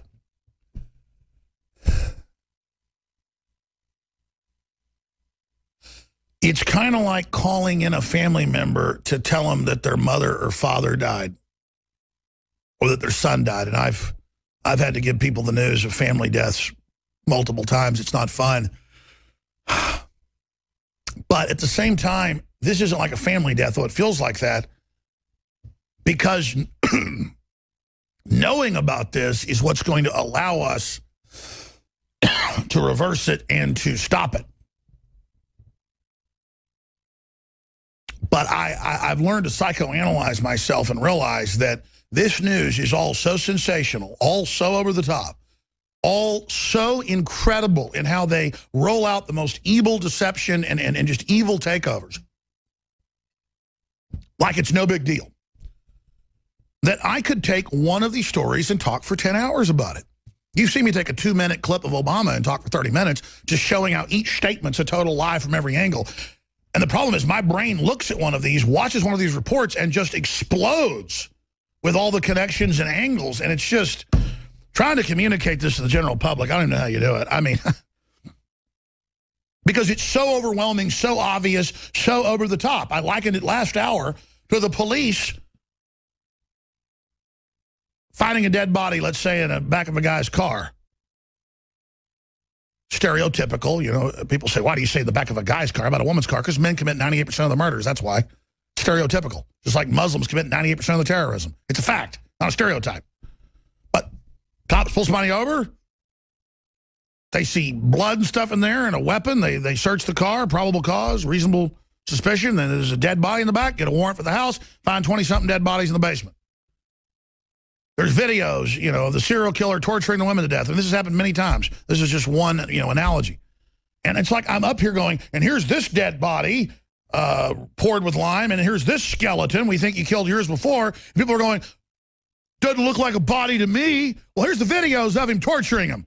Oh, yeah, right, racist. You know, I mean, it's, it's like world government out in the open announcing world armies via the EU army. We told people 20 years ago that was coming. That's been announced yesterday. UN armored vehicles of brand new construction being brought into the U.S. and shipped everywhere, all over the country. I mean, UN Abrams tanks, UN armored vehicles of the brand new construction, just crazy town. I've got FEMA contractor predicts social unrest caused by 395% food prices. That's from Vice, which used to be a pretty good organization. I mean, now it's run by HBO and a bunch of trendies. Vice wanted to come interview me the last few months a couple times, and I just finally went, you know, I'd said yes at first, and I just said, you know what? No. It's like, why not? Are you scared? And it's like, no, man, I just got stuff to do. I just, I don't want to sit here with some trendy going, you believe in black helicopters and a world government, aliens eating brains, huh? and you hate gay people. And I'm just like, I just don't have time for children anymore. I mean, you may think it's funny they put fluoride in the water to brain damage people. We even have the declassified documents.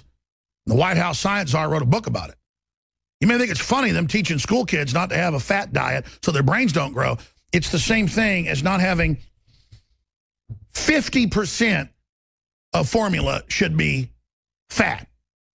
Healthy, clean fats. It's not. On average, it's like 20%. The rest is high fructose corn syrup that causes massive brain damage, stupid. And that's why you are stupid, because you never got milk. And I realize that there are a bunch of brain dead zombies that just have like five things they say. You're a racist, you're a homophobe, you're a sexist, and you don't dress ironically. And I'm sorry, I'm a real intellectual. To the point, I talk in my real Texas accent and don't put on airs like you jackasses do. And I, I don't, I don't even, I just, I don't even want to cover this news. It's just, it's unbelievably horrible. And it just confirms everything and what my gut's been telling me. And it's just like, give me a break, man. Do you yuppies really want global financial collapse? Do you understand it's by design? Do you know what a Great Depression will look like in this country? When it's filled with people like you, it's going to be hellish. Go watch The Grapes of Wrath. And that was with super hardworking Christian people. And that's based on composites and stuff that really went on. And it's horrible communist propaganda where they show up and the commie even looks like FDR and saves them and everything. But, but if you want to see what the Depression looked like, go watch that movie. And just armies of dumb, entitled socialist voters wanting free lunches. And when they and when their plights ten times worse in a few years, they'll never even remember or blame socialism. They'll demand even more. They'll demand communism. There's no end. And we'll have big mega corporations, tax exempt, behind armored fortress walls laughing at us as we're culturally devoured by drooling morons.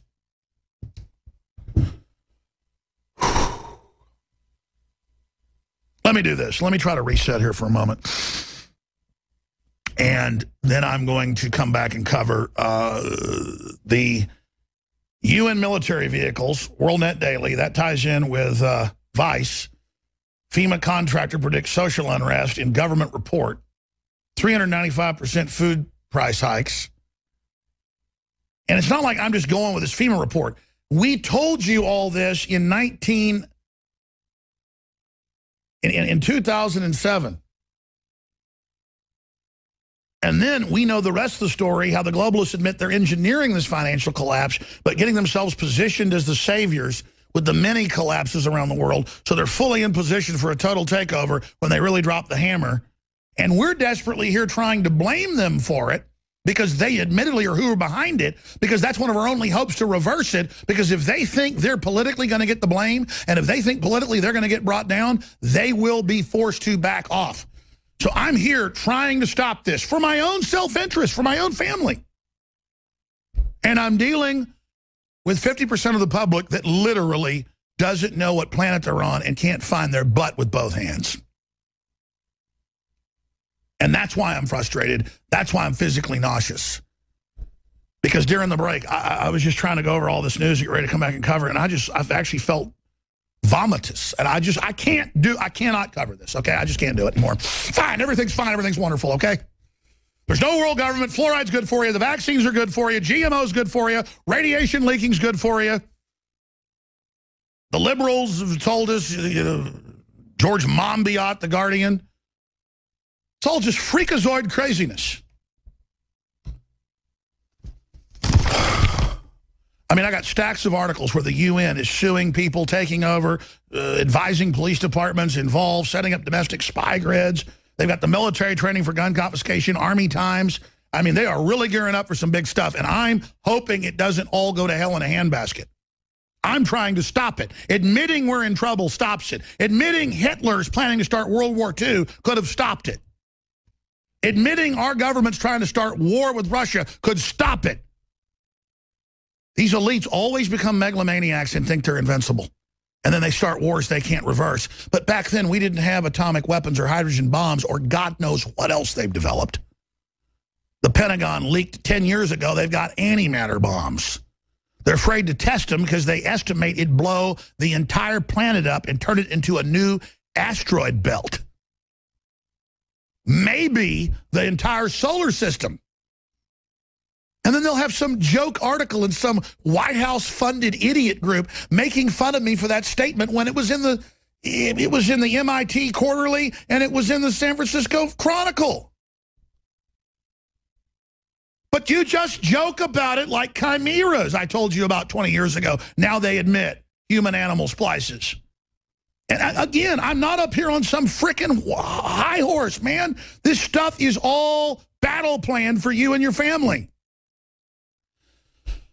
I read this report right here. I'll come back and cover this. But FEMA contractor predicts social unrest caused by 395% food price spikes. The simulation titled Food Chain Reaction was desktop game exercise involving the participation of 65 officials, U.S., Europe, Africa, India, Brazil, and key multinational and intergovernmental institutions. And it goes on to basically say there's no way to stop it with the population and what's happened with food.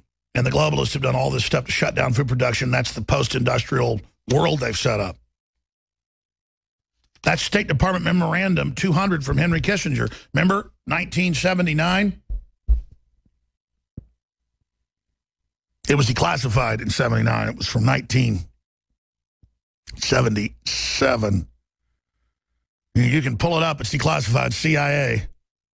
Where he said the goal is to turn the food off starve the third world and finally the West. He writes books calling military dumb animals. I mean, this is serious. This is serious, serious. They've got a plan, and boy, I see them getting it lined up, and I don't want it. To, I don't want to see it come through. By the way, this is how my brain works. Oh, we sell we sell the highest quality storable foods. Last 25 years, the lowest price out there at InfoWarsStore.com. It's InfoWars Select. It's the full spectrum of My Patriot Supply. We sell it, the same stuff right next to it, just a little bit higher price. Already a great deal. And I think, boy, we're going to have a Great Depression. It's probably inevitable now. I need to raise more money to fund this operation through the Depression. How am I going to do this? Plus, I need to get more storable food at the office and for my family. Plus, everybody needs to get this for themselves. So I'm going to show people this report and hope it gets them to buy food. The media would spend that and say, opportunistically, he uses a FEMA report to get people to get food. Well, uh, uh, yeah, the ship's sinking, get to a life raft. I hope you don't have to use it. I hope we're wrong. We're trying to stop it. But if you don't go to InfoWarsSelect.com or InfoWarsStore.com and get the high quality storable food, you are insane. If you don't get more guns and ammunition, if you don't learn how to use guns, if you haven't learned how to use them, if you don't have neighbors and friends you trust, and, and maybe a neighbor that's got a farm 50 miles outside town, believe me, if stuff collapses, it could get really bad. Seven million people, multiple university studies, look it up, just type in 7 million people starved during the Great Depression.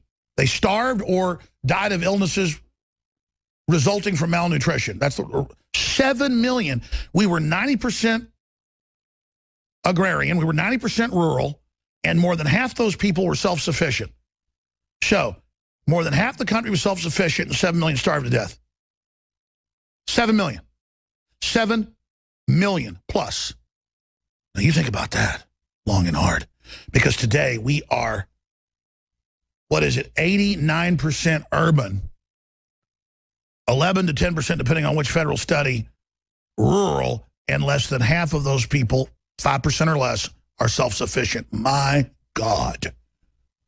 We've gone from 55% self-sufficient to less than 5% self-sufficient, and we are an immoral, degenerate, satanic nation that sells baby parts and keeps them alive to harvest them we don't even care. And you imagine these drooling slobs running around acting trendy that are calling for our arrest and calling for the murder of gun owners, just cropping and begging at the feet of the globalist. I mean, they'll, they'll be the first people the globalists shut down, but that's after they have a full takeover. Just drooling masses of nobodies given authoritarian control. They're coming. You can really see this whole global system that'll make World War II look like nothing they're trying to set up. And everyone's instincts tell them get ready. Everybody's instincts are saying get ready, get ready, get ready, get ready, get ready, get ready, get ready, get ready.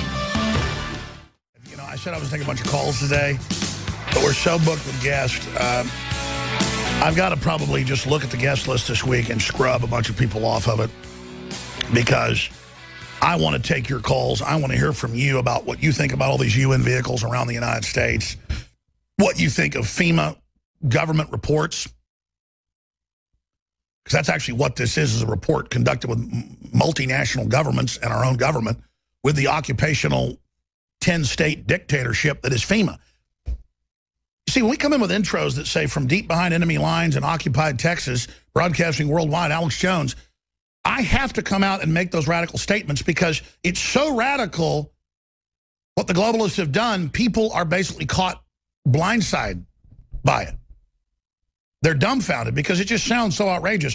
Multinationals, we didn't vote to enter, are running things, and the UN's making our laws, and multinational banks are tax exempt and have diplomatic immunity. And I mean, that's all on record. And they're now coming in and saying, you're not going to use the word mother and father. You're not going to have any real state authority. Uh, we're not going to let you have guns. It's a UN treaty. The UN says we're going to take more refugees from Latin America. And that's in ABC News. The UN says.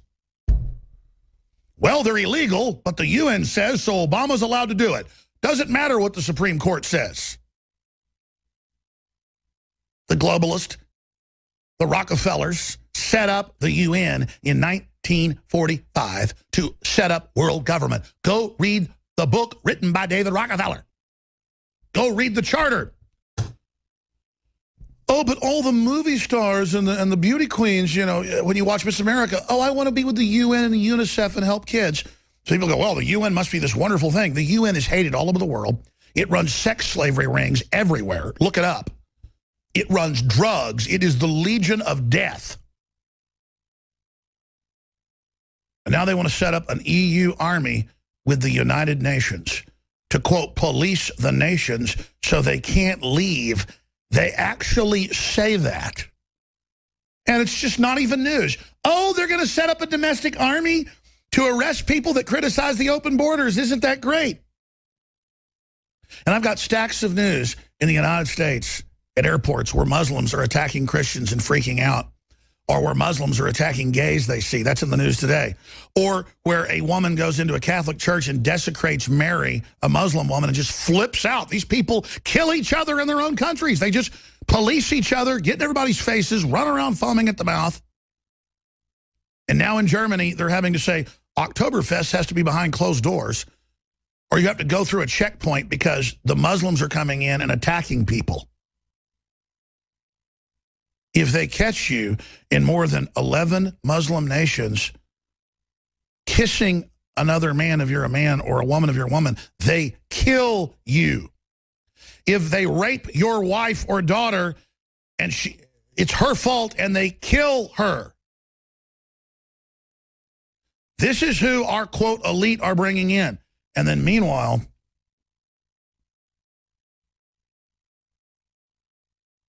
I'm going to shoot a special report on this for the nightly news, but I'm going to do it.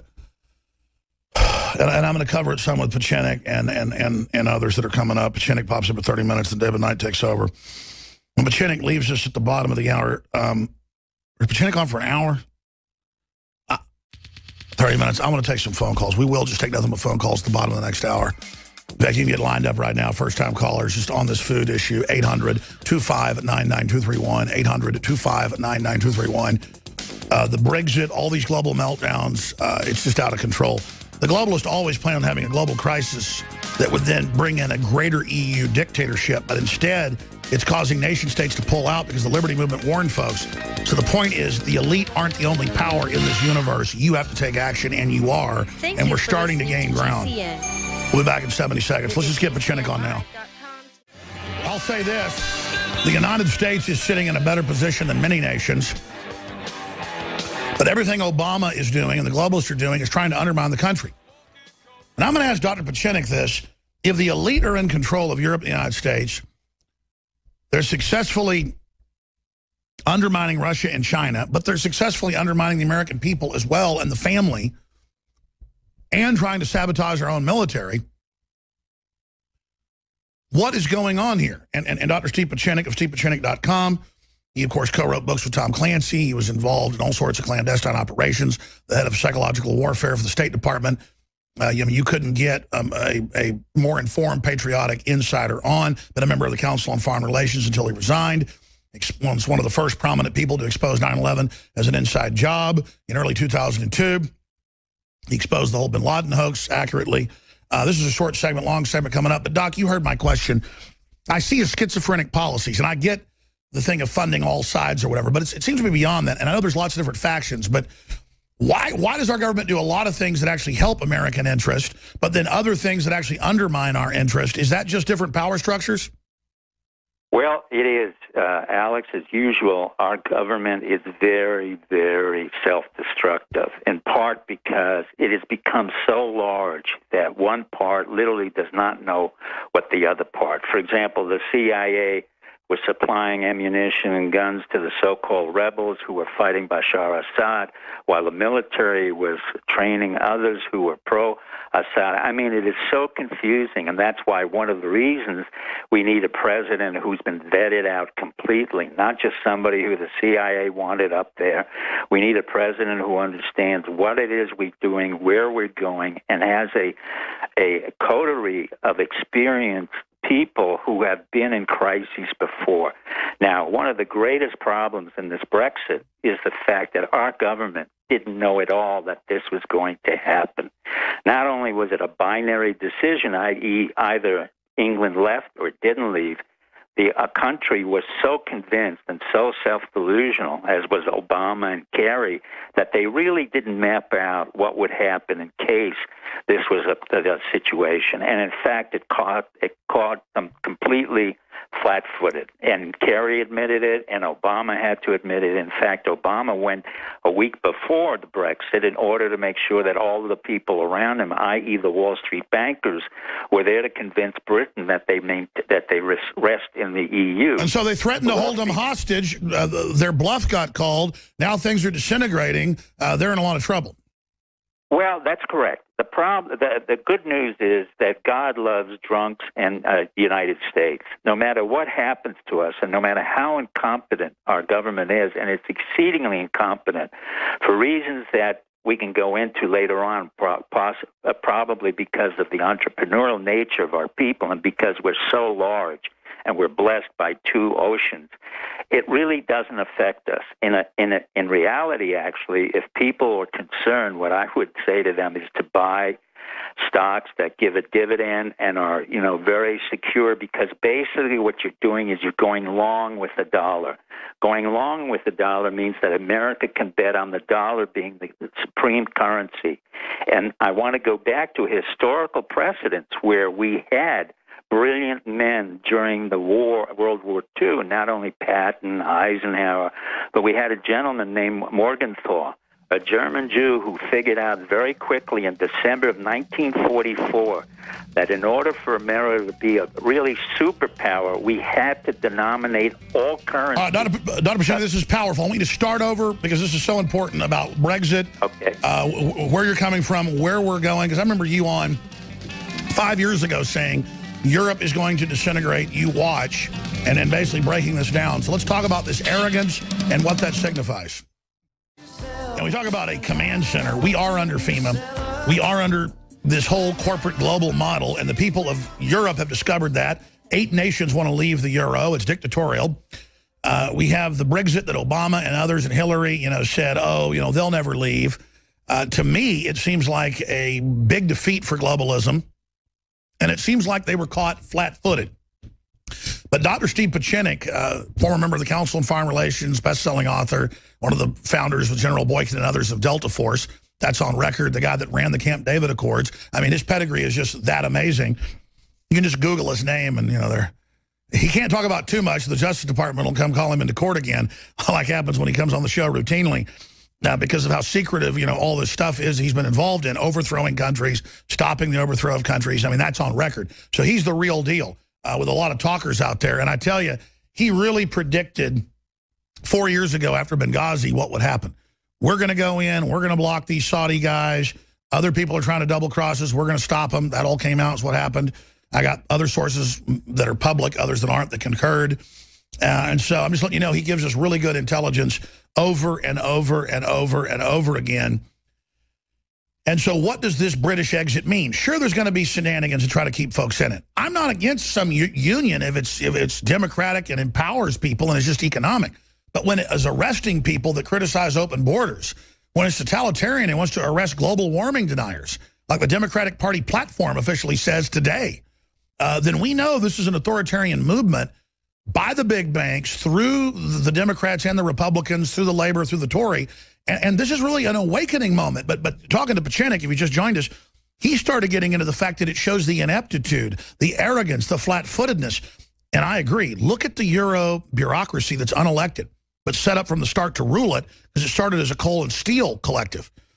I mean, it started out as a technocracy, folks. It didn't just become one. They're saying we're just going to have an EU army and it's going to take over your militaries. We're going to start commanding them. The bureaucracy is going to put out a report. We're going to bring in new commanders over your commanders. Folks, that is literal occupation. That is like Hitler coming in and putting his French generals in over the French, the Vichy. I mean, I harp on that because it's what's happening. This is so crazy.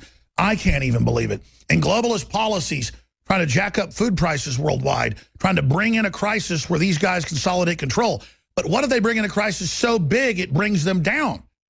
By the way, I'm not sure licking my lips wanting to see the whole system crash. I want these evil globalists at the top to stop wrecking things and basing things on conquest and collapse instead of renaissance. So I'm not looking for some civil war. I'm not looking to, uh, you know, just see Herman Van Rompuy and Merkel's head on a platter. I just realized these people aren't as smart as Napoleon or Hitler. They were bad guys, by the way. Weren't as smart as people before them, and they just think they're invincible because they're in control, and it gets more and more dangerous. So to cover the waterfront, and one of the time we have is Dr. Steve Pieczenik, stevepieczenik.com. Let's walk through this history, where we are, and then I want to ask you about the global economic system because we got FEMA reports and others saying worldwide food crises, you name it. Is that hype or what's going on? Dr. Pieczenik, thanks for joining us. Start back over. All right. Uh, I think it's important for the audience to understand we Americans, uh, in, in 1944, because of the incredible quality of leaders that we had at that point under FDR, Morgenthau and others in the Treasury developed what was called the Bretton Woods Conference, which basically stated very clearly that for the next half a century to a century, we will have the dollar denominated as the currency of the world.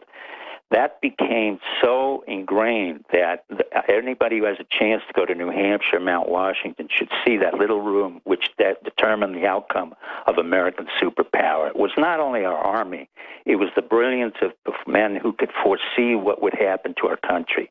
Now, taking that forward, the French came in after World War II, although they were defeated. My father was in the French army, and the first order he got was retreat. And unfortunately, 2.2 million men retreated. The reality is that France, after World War II, said to the Americans that we have to co-opt the rise of Germany because France had been defeated twice by the Germans in World War One and Two.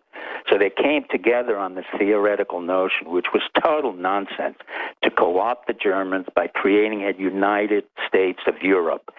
That in turn had no legitimacy. It had no concrete basis. And as Alex told you, it basically was a bunch of bureaucrats ironically put in the worst country of all, which was not really a country, Belgium, at the site where Napoleon was defeated in 1815, only five days before the Brexit. So, in a way, history recapitulates itself when England and Germany defeated France. What this is, is the end of globalization. For five to ten years, I've been saying that the so called notion of globalization is artificial and not real because what was happening is the big banks on Wall Street were, in fact, putting their tentacles out to every country.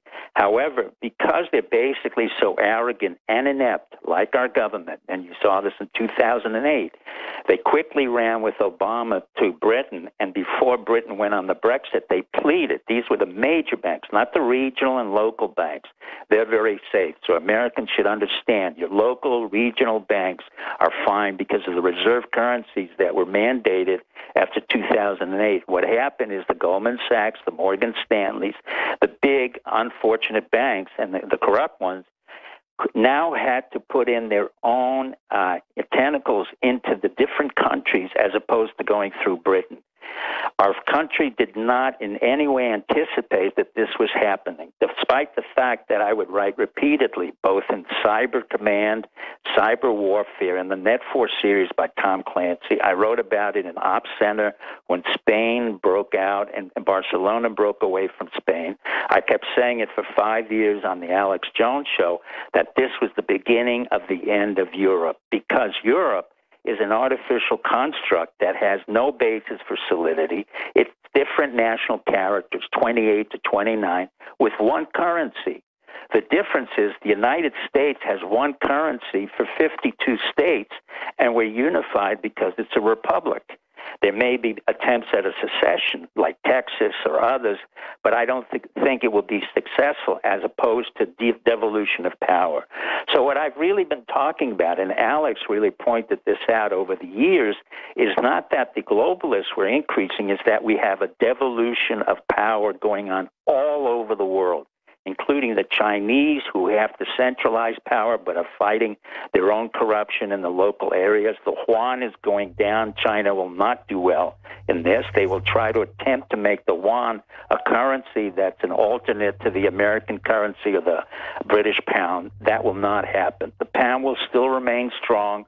The euro will fall repeatedly because France has a very low growth rate and it had before France even attempted to stop the Brexit, it already had riots. What's all the calculus on bringing in all the refugees? Uh, Five million from the Middle East. It's got to be hundreds of thousands, if not millions here. They're covering it up. What is the whole point of bringing in people unskilled, 22% that have TB? I mean, this sounds. I mean, this sounds like treason. Well, the way I looked at it, and the way I said it on your show many years ago, was that this was Putin's revenge on the takedown of the Soviet Union. I, I when I listened to Putin many years ago, he's a very clever man. He said, "Imagine what countries are like when you liberate 20 million people and they have no country." I.e., addressing me and others who were involved in the takedown of the Soviet Union, and I realized that he would, in fact get into the Syrian war to create this conflagration, support Bashar Assad with Iran, and then allow all of these young men to transfer over into Turkey. Sure, and, and, and of course he came out yesterday, uh, Putin, and said this this this reminds him of the fall of the Soviet Union.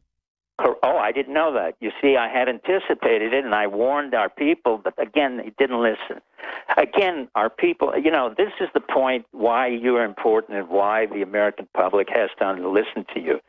We've talked about this for years beforehand. I knew our, our government was not qualified to answer this. I knew our government was not even capable of anticipating any of these problems and gaming them out. Unlike the Nixon administration, whatever you could say for Nixon, right or wrong, the man was brilliant. He knew exactly how to game out the Chinese, how to game out the Soviets. Even under the Baker administration, we knew how to game out the Soviet Union under Reagan. And this Our elites don't game anybody. They just get bought off for almost no. nothing. Eh, I mean, they give up all the power and sovereignty for like a few million dollars apiece. I mean, it's just crazy. Well, in effect, Alex, there is no more sovereignty, and they have no power. What you saw Obama doing was to really, again, uh, uh, basically self-destruct. He self destructed with Osama bin Laden nonsense, which didn't exist, the shooting, with Sandy Hook, a false flag, with another false flag. So he will be known as the sociopath that he is. I said it from the day he came in. He was a CIA recruit a complete sociopath whose only advantage was. hey, we know current FBI agents that have investigated Sandy Hook and think it's a hoax. I mean, it's incredible. I'm not going to get well, into it. Not only that, the question is, what do we do when we know that our government is tyrannical and is is capable of killing us and shooting us? It's not just FEMA. The, the question is really when will we protest and how will that protest? But, but isn't it clear that it's a criminal element inside our government? Well, the government is criminal. I mean, how do you allow our government to attack the Twin Towers when you have the CIA, the DIA, the military intelligence, you have the soldiers, you have the police, you have Homeland Security, you have the WASP trained Mueller who says, oh no, we didn't know about it and the FBI, the most self-aggrandized eh, organization other than the CIA, repeatedly making mistakes and, and, and, and confusing the issue and really getting part of the collusion of, a, of hitting and hurting. And, and then why are they allowing the Islamic invasion? Just so they can have more terror attacks and get more funding? I'm going to ask you that when we come back to our Steve Pieczenik's our guest, analyzing the Brexit. Right, final segment with our guest. I was going to take calls the next segment. You know what? I forgot. We've got a reporters down in the valley where they're admittedly bringing in illegal aliens and putting them on buses. Now, we broke that two years ago. Nobody else covered it. And that's a big deal. It shows the lawlessness, but now it's on ABC News. So we thought we'd go back down there and show folks. So Jakari Jackson, Adan Salazar, and others joining us. Caught red-handed Border Patrol paying to ship illegals deep in the United States. This is the lawlessness. Look at the Sunday Express headline, European superstate to be unveiled. EU, we told you this last week, EU nations to be, quote, morphed into one post-Brexit. So you don't have an excuse to leave now. We'll fix that problem. So this shows the incredible totalitarian nature. And obviously, this will just accelerate people wanting to leave even more. Uh, but what is it about tyrants, Dr. Pieczenik? They just don't get it. They just, it's, it's like, you know, Catalonia or Catalan, one of the only prosperous areas in Spain, its own culture. 90-something percent of people voted to leave. Madrid said you can't. They just said, we'll do whatever we want. I mean, how do you stop 90%? You can't control 90% and make them do what you want. You can only kill them. Yeah, the reason I knew Catalonia would break away from Madrid, number one, Madrid is an artificial construct created by uh, Francis II, a French king. There is no Spain. It's really Valencia, Basque, Barcelona, as you know. And I wrote about Catalan breaking away. The problem in Spain will be that it had a civil war during the 30s, millions died, and it could have another civil war because the Catalans are not Spanish. They will fight if they have to, and Madrid doesn't have a national force that can really counteract it. What happens to tyrants is they see the, uh, you know, power corrupts and absolute power corrupts absolutely. But in that premise, what people don't realize, it's the beginning of the end of the tyrant. The minute the tyrant exercises that kind of absolute power, like Obama's doing, like those henchmen around him, then it begins, it becomes the end of their dynasty and then the end of their tenure. What happens? Putin understands very well in the history of the Romanovs and the Tsars and Stalin the only way the tyrants leave is through assassination or death. There is no other way. In the United States, we either assassinate our presidents, which we've done with LBJ. We had, you know, shootings on uh, which we did with JFK, and we warned LBJ not to continue, and we told Reagan that he has a problem, and then we went on and so forth. Things just don't happen by chance or accident. Now we have a corrupt government. We have an inept government. That's worse because corruption may be needed in order to get systems going. It's just the degree of corruption. But when you have incompetence to the top, Susan Rice, Samantha Power, the Ben Rhodes, all those people who really have no idea what they're doing, and they stood in one of those think tanks, it's time to get rid of all of them.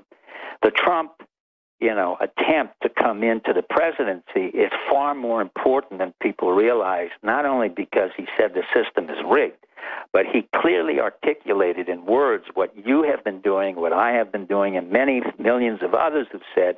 We're disgusted with the rigged system. Nevertheless, the rigged system continues. If Hillary comes in, my suspicion is there will be violence. I, you know, I can't uh, proffer it, but they know the people are listening to me that they were more than effective in handing me subpoenas, or when I, they felt I was out of control, they, had, they sent helico- helicopters above my house to give me a warning. Now, I don't have a problem fighting against for my nation, for my nation and our republic, because I had to fight overseas. But I call on our military to wake up. I call on our generals to stop worrying about their pensions and their liability. Right now, we have more generals who are on pension than active duty military officers, and that's a crime. And instead, we don't have an army that really is loyal to the Republic. What the Republic did and Obama did was a very shrewd and clever element. They create strategic tension all over the world so that our military is deployed, not because they have to fight for the Republic, but it's a way of getting rid of our military domestically. So we're in 786 bases. Then you asked, why are these false flags occurring? You hit it on the head repeatedly when you said it was to round up our ammunition and guns. But there's a more serious reason and a more perfidious reason that I have maintained throughout, and that is what I wrote in the state of emergency. Our government can no longer justify its existence without creating strategic tension within our country. In other words, the federal government, sui generis, has no legitimacy. It has to create strategic tension so that it can mandate its federal troops. Sure, it has to make itself the hero and, and, and violate jurisdictions. If you could do like four more minutes on the other side. I want to ask you, not as a pop psychiatrist, but also a medical doctor, uh, Harvard and MIT trained, I want to ask you just briefly about a Merkel, about an Obama, about, I mean, who these people are, why they're so dishonorable. Why, well, the, I mean, I mean, the most scummiest people getting power. Stay right there, Dr. Pieczenik. I'm Alex Jones. And then Jakari Jackson, Adan Salazar, and other reporters in the Valley, where the UN is ordering and directing uh, unnamed migrants to just be let in. Welcome back. Jakari Jackson and others are getting in place down in South Texas and McAllen, where the UN's running the illegal alien invasion. They actually selling news. The UN advised us. The UN comes in. They're illegal, and then we just put them on buses and ship them wherever they want. But when I came in from Isla Mujeres, took my children fishing for five, six days, uh, they interrogated every one of them and asked them, what'd you buy, what'd you do, where'd you go? And the guy knew full well who I was. Had a big X on my uh, little, you know, computer printout when I went through that first. And, and, and as it does every time, and I got to be interrogated. Uh, but if I'd been wearing a burqa over my head, there wouldn't be any problem. And again, I'm not here to start some war with the Muslims. But if I could point out they've got rights I don't have, and that this whole thing's security theater, maybe I could get my freedoms back. Because all I see with this police state is domesticating me, that I have no rights, I have no freedoms, and I need to worship some all-powerful centralized government and that's why I'm trying to get people self-sufficient. I'm trying to get folks to take action uh, and get involved in their communities to take back our nation by being productive, by being honorable. Now, we're going to go to our reporters here in a few minutes, but Dr. Pieczenik, uh, again, you're not just a pop psychologist. You're not just a psychiatrist, uh, you know, Harvard-trained, MIT, uh, you know, politics, you name it. I'm going to go over your whole pedigree for listeners, but it's very extensive, uh, obviously. And they can't stand the fact you come on the show. I've been visited by the government about it. You've been visited.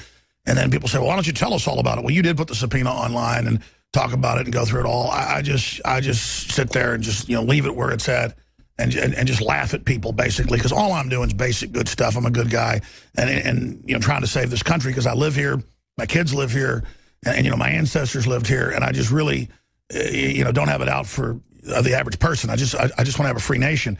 Uh, but but looking at the psychology of the sycophants, the Obamas, the Hillarys, uh, and others, I mean, they just want to mount America's head on the wall. They really are after the bitter clingers. They really hate people that are independent of any race, color, or creed. I mean, they they they, they really do want to physically dominate what was Americana, even though that's what ends up generating the power of the nation that these parasites basically control and, and, and siphon off of and ride to global control.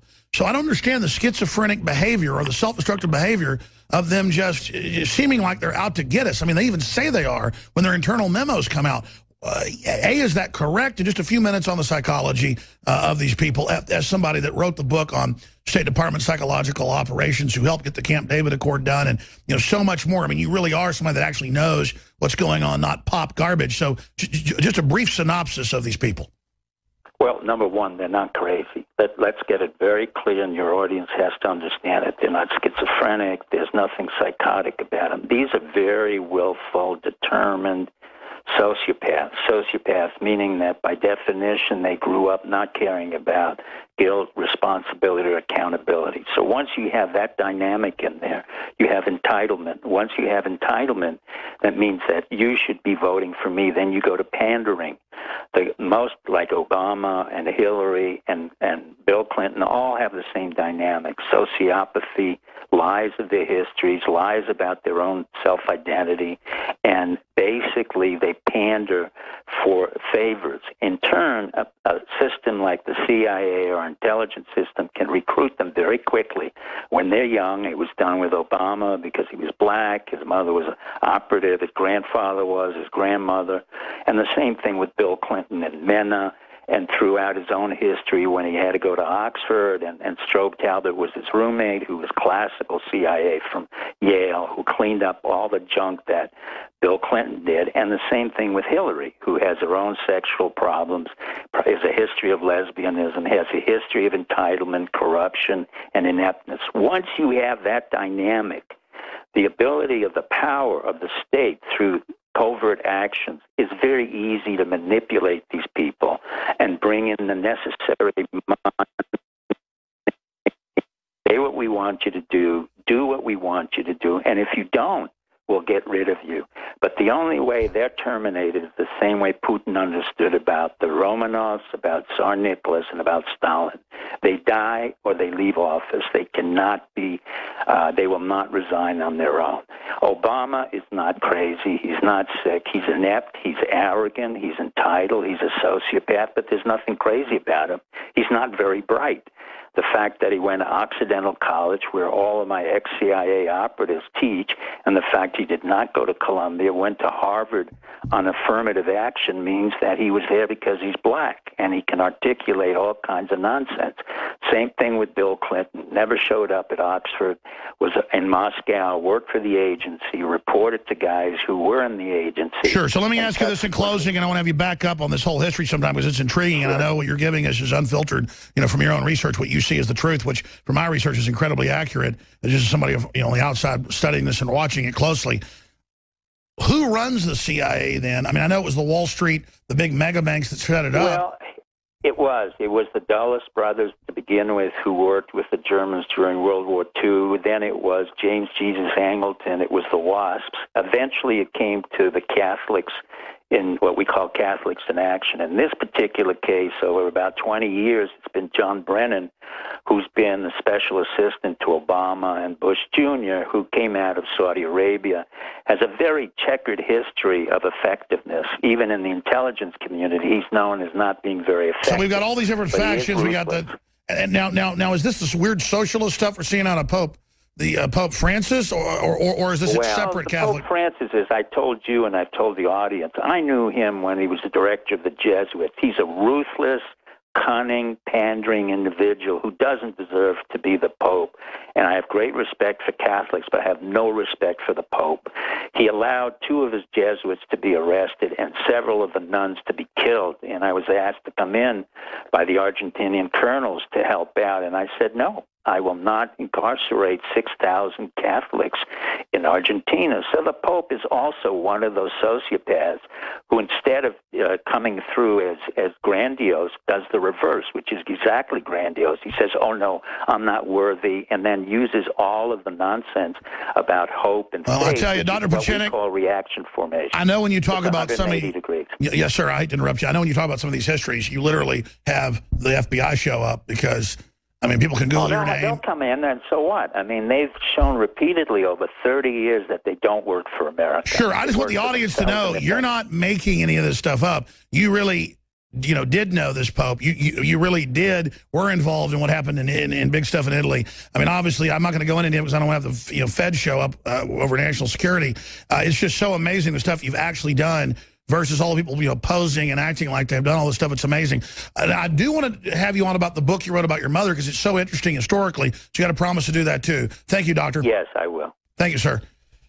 That guy is so interesting, folks. I mean, it's just amazing. Um, that guy's been like the whole nine yards, from the ground level assassin right up to heavy operations, and right at the start of Delta Force, advising their psychological warfare operations. Just he, it's just incredible. Uh, and they, they just hate it when he comes on. They just cannot stand it. I have been I have been threatened by the Israeli Mossad. I have been threatened by the CIA personally to my face, okay, about having him on. I have been, I have been, I mean, you name it. I have just been, uh, they cannot stand it. And, and look, all we're doing is here exposing the stuff that's going on. Look, Jakari Jackson, two years ago with Adan Salazar and Kit Daniels, went down the border. We got contacted by the Border Patrol. They're, they're the good guys. And said, yeah, we're completing the smuggling process. We blurred out the ICE agent's face, or, or you know, just sat in the truck and talked to him. She couldn't even see the body. Scrambled his voice, and he sent us over there uh, June 26th. Uh, we, we, we posted a flashback of this, but this was June of 2014, where it shows dozens of buses a day, hundreds and hundreds of people, whole families, None of them vetted, not checked for diseases from all over the world, just let in. Caught red-handed, Border Patrol paying to ship illegals deep into the U.S. And I'm not going to play the whole seven-minute report, play about a minute of it go to Jakari. But they're down there to just point out and talk to the locals. What do you think of they're not tested for disease? That's number one. 22% increase in TB in, quote, migrants. They're coming in. They check you when you come through the border at customs as a citizen, but they're not checking these people. It's against the law. The Supreme Court ruled you can't do it. Last week, Obama says he's going to continue. I mean, I, I, sat there going through customs Saturday, and I didn't start arguing. I just said, you know, they just let everybody in if they're illegal. And the guy just said, yeah. I mean, we've talked to the Border Patrol at the checkpoint. Why do you want to search us 70 miles into the U.S., come back from Big Bend? The border's open. He goes, yeah, you're actually right. Go on in. But there's terrorists coming into the country. See, that's what I mean. This doesn't make sense. So here's a minute of Jakari's report where he's talking to the emergency manager of McAllen. Why this is important is on Friday, UN says more Central Americans headed to the U.S. And the first thing they say in the newscast is illegals are coming in. They're illegal, but they're sent here by the Border Patrol and are just bust out. And they make it like it's a wonderful thing. I mean, this is crazy. If I sneak an illegal in, we're talking five years in federal prison if I get a light sentence, folks. So we're talking to Jakari Jackson in just a moment, but he's really just there to get all these reports and go with those angles. Hey, what about the diseases coming in?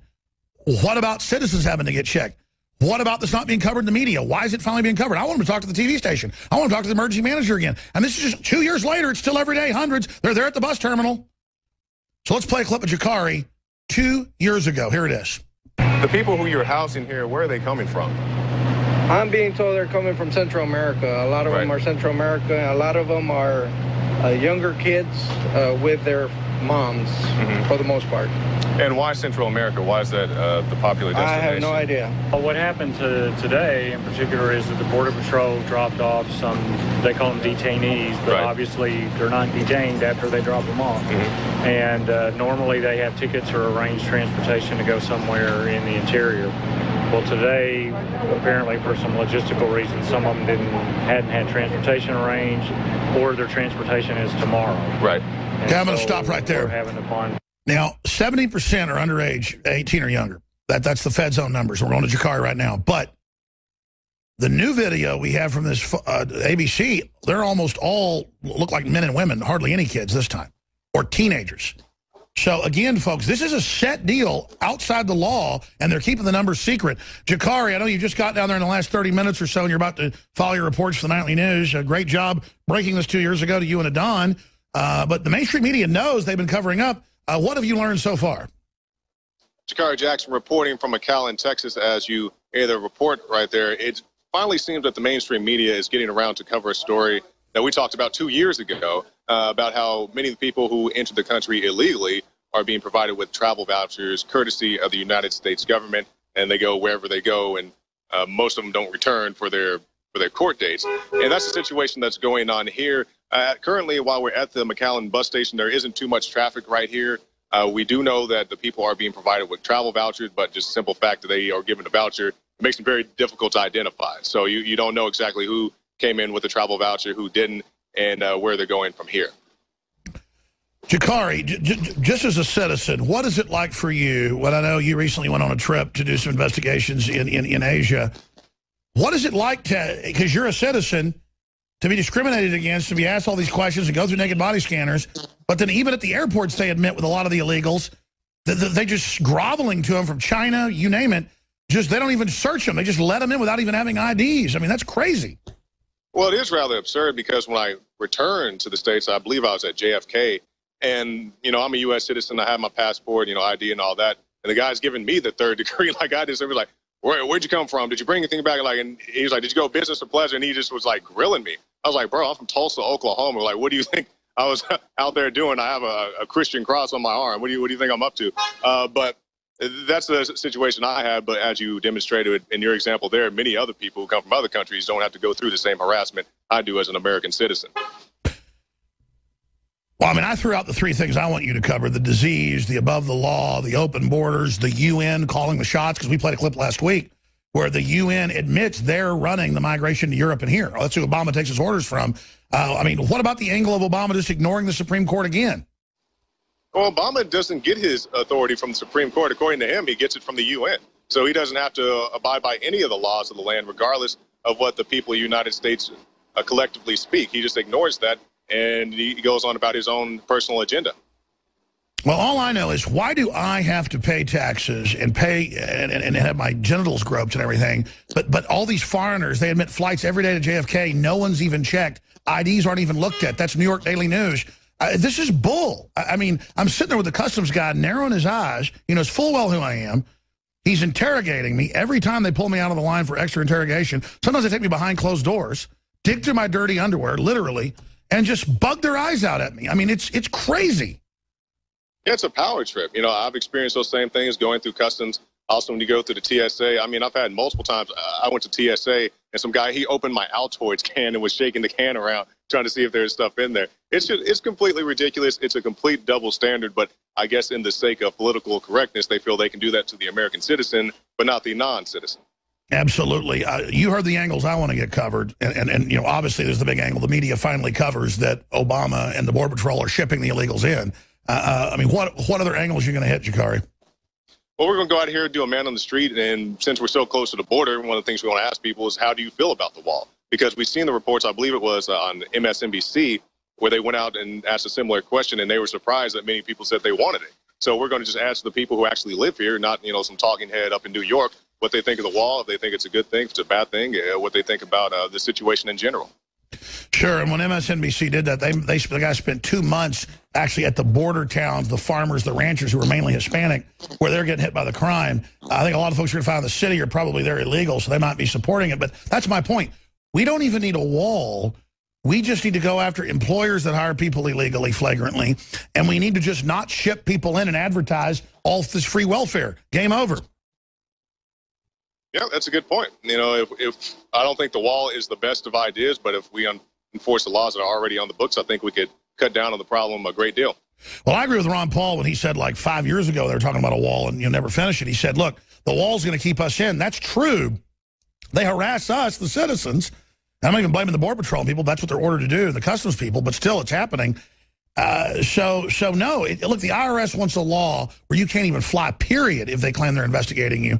Now you can't leave the country if they've got an investigation open. So, see, I, I, they're trying to make it hard for us to get out of the country. So I just say, you know what? I disagree with Trump on the wall. It's a fun thing to talk about and all this, but uh, all I want Trump to do is just not let you know the illegals get free welfare. That'll fix it right there. And as you talk about this travel, I think if they want to uh, take people's passports and deny them travel because they're under investigation, Mr. Clinton's under investigation. Why doesn't somebody say something about that and seize her assets? Oh, that's a good idea. Absolutely. We're not even talking about a criminal investigation with a grand jury or something, folks, or, you know, where you've been indicted and they say don't leave the county. We're talking about anybody when they just open an investigation. That's probably happened to me six, seven times in my life. Everybody else you know has had the IRS send them letters and open investigation. Boom, can't leave the U.S. when they got the investigation open. And, and I mean, that is that is incredible. We'll come back with Jakari and Adan Salazar, then David Knight. I'm going to do five minutes for the next hour. Cover some of the news haven't hit yet. Then David Knight's taking over. He's going to be getting into Trump versus the GOP, the abortion ruling of the Supreme Court. Obama's going to follow that one, but not the one about Hey, you can't bring in people and advertise everything's free and then have the Border Patrol be a delivery force for the illegals. I mean, it's just not fair. No other country acts like this. It's so crazy. Fine, let the illegals in and give me free stuff too. Just don't grab my genitals. That's what makes me so mad about this. It's just, it's so obvious they're bringing in voters and unskilled laborers to break the economy. That's a model the globalists have. Briefly before I go back and get some final comments from Jakari Jackson. Um, we're sold out of the Hillary Clinton for prison shirts. That was edition number two. Edition three is coming out. It's the same, except it has Infowars.com on the shoulder, not just on the back. And then Hillary for Prison 2016. Uh, but that has sold out. I think there's like a few left and small because you get 75% off on it when you sign up for the newsletter, 50% off when you just buy one.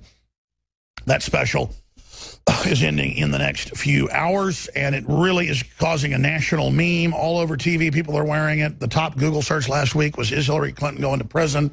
Uh, this is just an example of the power of the people. And, and wearing a Molon Labe or an InfoWars shirt from InfoWarsStore.com, not just Hillary for prison, you will meet like-minded people. You will find out how many patriots there are. You are one of these around your town or city, you'll meet enough folks in a few months walking around the streets to form a huge organization politically. Also, a Deep Cleanse is an amazing system of key herbs and, and other compounds to detoxify the body.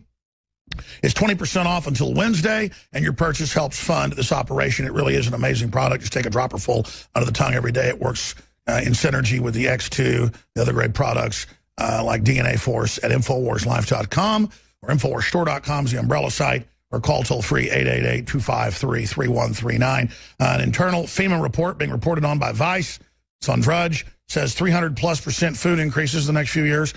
That's what the government thinks is going to happen. All I know is you need to get storable foods, and the best place to get them is InfoWarsStore.com. InfoWars Select, 15% off. We're running that for one week only. It's not 30% off, but it's already a super low price, folks. We can't always offer 30% off, but 15% is the best I can do. We already have the lowest price out there. Okay, Jakari, other points that I haven't raised. What else is on your radar, my friend, in this bizarro world? Well, it's a very strange time, Alex. Uh, just as you were talking about many of the things there, the Hillary for Prison T-shirts, uh, as you said, it's a great way to meet like-minded people. Every time we go out to the rallies, we see a lot of these just around town. I see people wearing the Hillary for Prison T-shirts. I haven't seen too many around here, but you can understand why that is.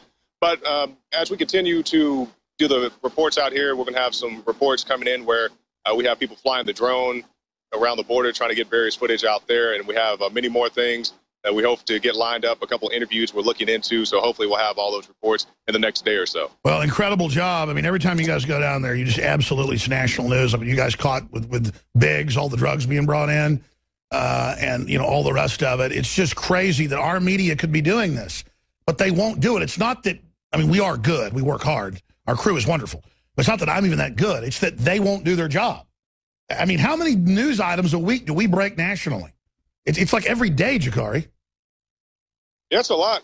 Uh, Watson's way up there. Uh, many of the other guys do pretty well putting that stuff out in the news cycle.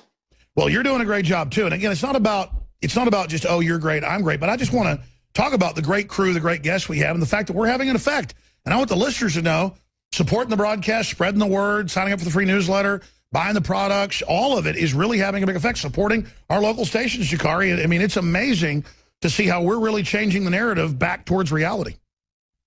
Yeah, it is a big effect. You know, it's like everything we do, whether people they parrot it or they do some kind of hit piece off of it or whatever else, it's definitely out there in the consciousness.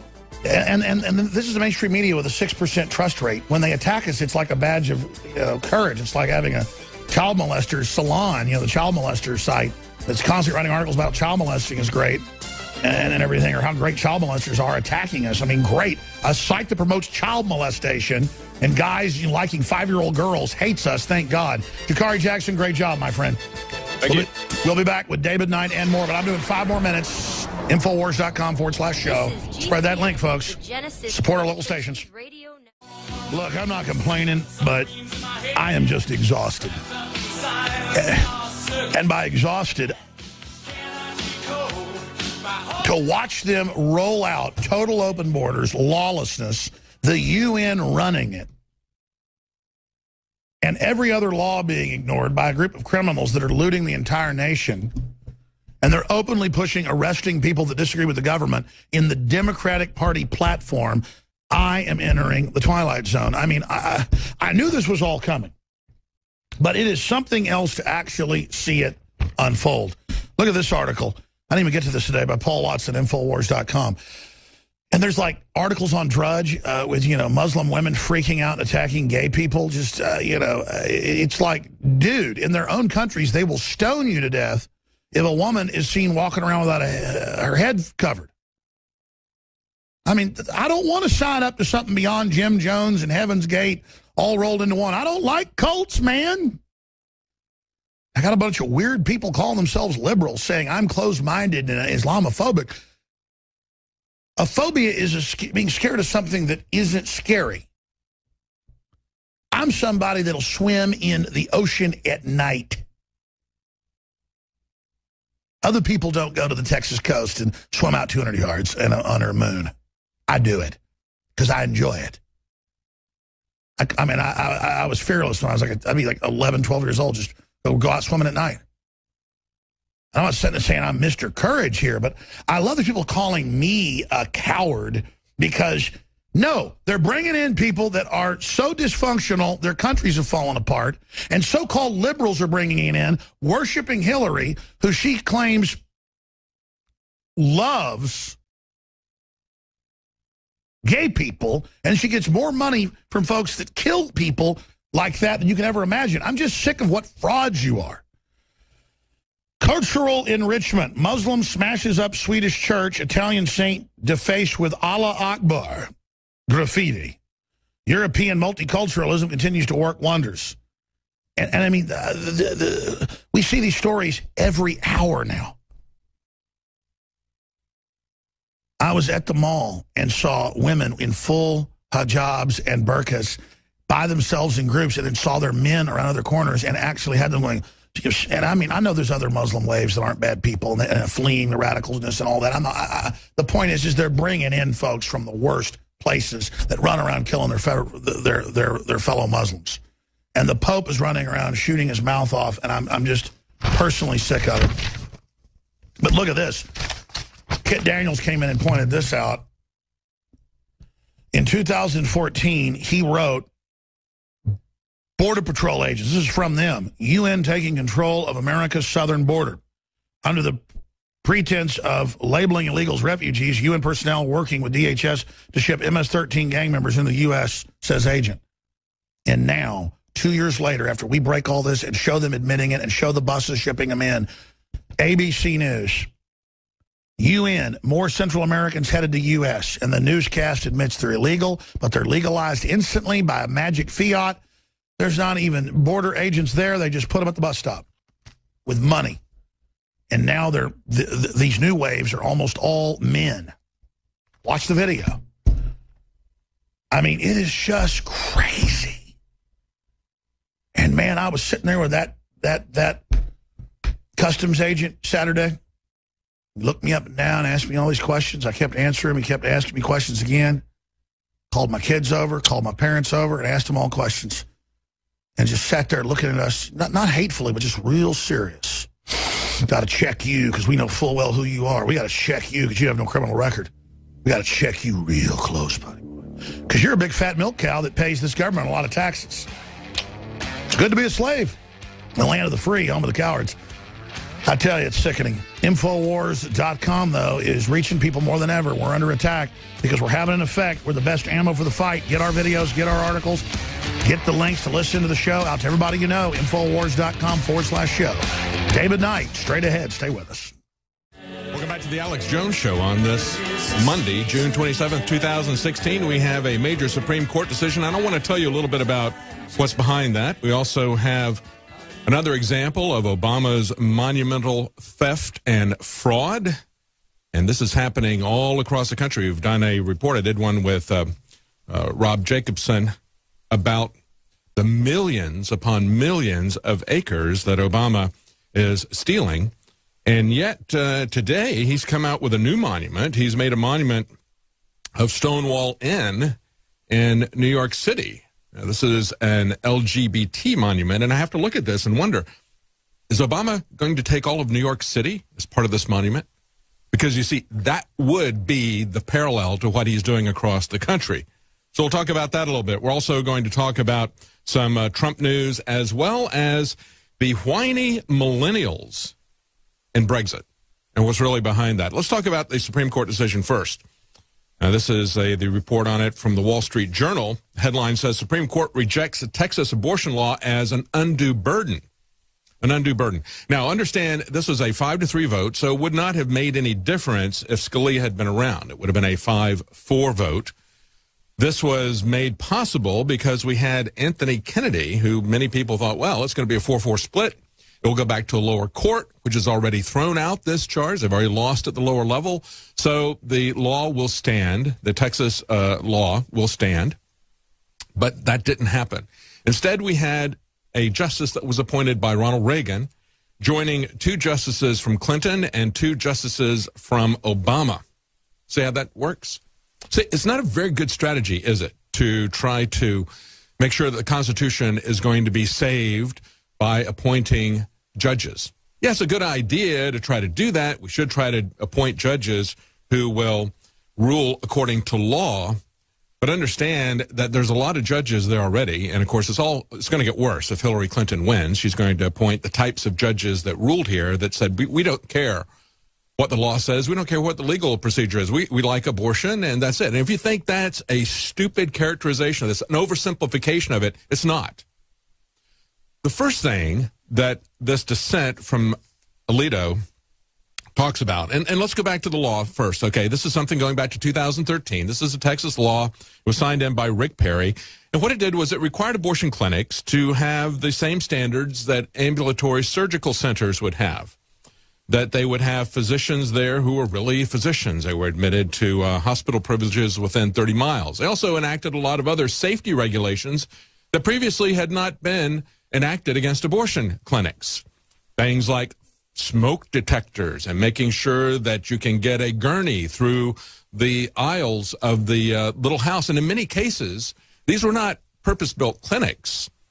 Many of these were just simply homes that had been repurposed as an abortion clinic, residential homes. And so there were impediments in terms of being able to get somebody out of there in case an emergency procedure had occurred. Wouldn't you think those would be reasonable? Wouldn't you think that if this really was about women's health, as we're being told, that they would want to have these kinds of safeguards in there? You see, it brilliantly called the bluff of these people who simply want to murder babies as part of a eugenics uh, agenda. And we've exposed that over and over again. That's how this started with Margaret Sanger. It's how it started with Planned Parenthood. You can go back and you can see the writings of the Democrats and the Republicans all the generations of the George Bush family, going back to Prescott Bush, uh, and then uh, going through uh, George H.W. as well as just recently uh, in the debates. Remember when Jeb was talking about how, well, we stopped the funding. We had about a half million or whatever the number was. I, I can't remember. It was. Uh, it was essentially 30 times the amount of money he donated with his private organization to Planned Parenthood. But publicly, what he did was he stopped a little bit of funding from the state of Florida. That's the way the Bushes have been. And of course, the, uh, his, his grandfather was the first treasurer of Planned Parenthood, along with Margaret Sanger. We've shown you the letters. We've shown you the letters from George H.W. Bush and so forth and so on. So we've had a, a long history of the elites in both the Republican and Democrat Party who are interested, quite frankly, in eugenics.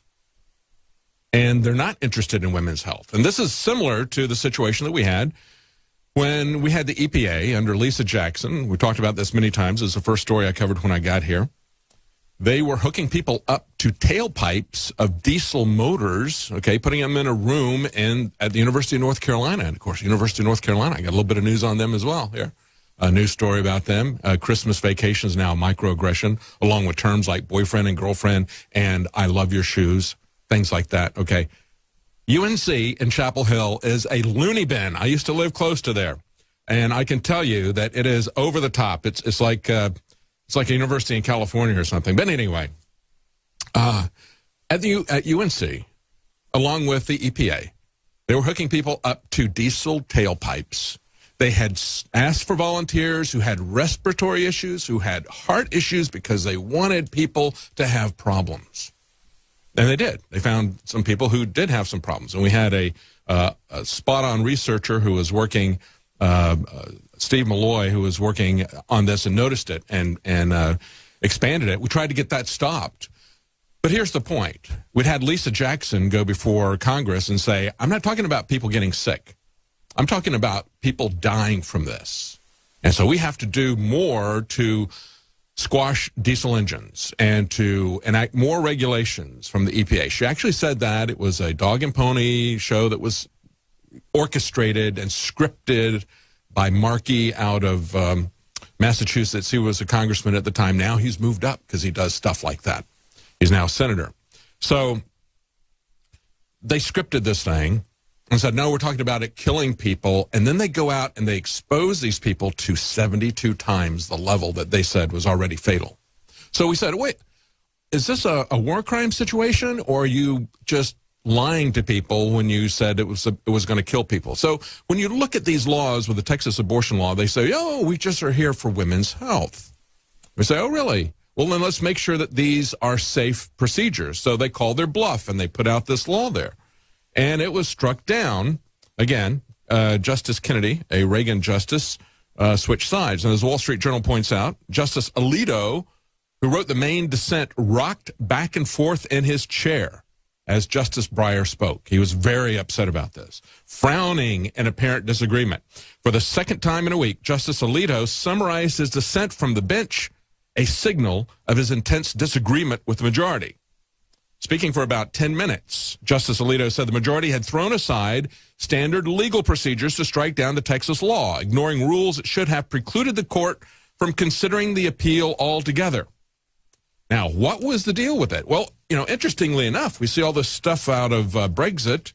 People saying, we need a do over. I'm not happy with the results. I, I want to hold another election. I don't like that. Okay? That's essentially what this was. This, in principle, this whole Supreme Court decision was essentially a do over for these people. And that's what he was pointing out. It was also ignoring the law, also ignoring legal principles, and it was pure activism. This is not a review of the law. This is not a review of the Constitution. This is nothing less than naked judicial activism. And that's why Justice Alito was rocking back and forth in his seat. He could barely contain himself. He could hardly sit there and listen to this nonsense. And then he wrote this opinion, and I pulled up his opinion, and I want to read you part of it because these opinions are very long. This is like 150 pages of stuff to sort through. This is what he has to say at the beginning of his opinion. He says the constitutionality of laws regulation regulating abortion is one of the most controversial issues in American law, but in this case does not require us to delve into that contentious dispute. You understand? He said, okay, regardless of what you think about the issue, there are legal principles here that would keep us from being involved in this. He said, instead, the issue here concerns a workaday question that can arise in any case, no matter the subject, namely, whether the present case is barred by res judica, okay? Uh, and so what he talks about with that is he's essentially saying, hey, look, to put that in layman's terms, okay, because I'm not a lawyer, But he explains it in his opinion. He says it's basically claim preclusion. It's a bedrock principle, he writes later on in his decision. He says, if you lose on an issue, you don't get a do over. You don't get a do over, just like you don't get a do over with Brexit. And he goes on to say here, he said, here's the worst example. Shortly after Texas enacted this bill, the petitioners in this case brought suit claiming, among other things, that a provision of the new law requiring a physician performing an abortion to have admitting privileges at a nearby hospital is facially unconstitutional and thus totally unenforceable. Petitioners had a fair opportunity to make their case, but they lost on the merits in the Court of Appeals for the Fifth Circuit, and they chose not to petition the Supreme Court at that time. So the judgment became final. So they lost. They lost. But then they come back a few years later and say, we want to do over on that, like Brexit. Okay? So this is precisely what is happening with this. And he goes, you don't get to do that. This is exactly this case. This isn't a similar case. This is exactly that case. You lost, you didn't appeal, you don't get to come back now and do this. Okay? Under the rules that apply in regular cases, he says, petitioners could not relitigate the exact same claim in a second suit. The exact same claim. As we have said, a losing litigant, and he quotes the Supreme Court, and he gives you book, book, chapter, and verse, okay? Quote, a losing litigant deserves no rematch after a defeat fairly suffered in adversarial proceedings on an issue identical in substance to the one he subsequently seeks to raise. You get that? okay. In other words, no do overs, folks. Now, he says, however, because this is an abortion case, we throw out the law, we throw out the rules, we throw out all of our previous opinions. He said, this rule is now disregarded, and the court awards a victory to petitioners on the very exact claim they unsuccessfully pressed in the earlier case. Now, when we come back, there's more. There's more that is ignored on this. And I want to read to you what the Supreme Court decision says, why they said they did this. It's absolutely amazing. And it, I think it underscores why we cannot trust nine political appointees to safeguard the Constitution. Welcome back to the Alex Jones Show. I'm David Knight on this Monday. And we're looking at uh, June 27th. We're looking at the Supreme Court case. And I wanted to give you an example of just how corrupt this whole system is. I mean, we've got people in Brexit about Brexit uh, saying we need a do-over. I don't like the results. We got the Supreme Court actually giving a do over, which is against their previous rulings. It's against the law to do this. These people already lost. They didn't appeal the case, but now they gave them a do over and said, all right, and now we're going to reverse what happened earlier. And then, of course, in politics, we see over this weekend an orchestrated attempt by the never Trumper GOP, I'm with her Hillary people, okay? People like George Will National Review, David French, the guy that was a candidate for about a week. You got this guy who's filed suit in North Carolina, in uh, Virginia. They want a do over as well.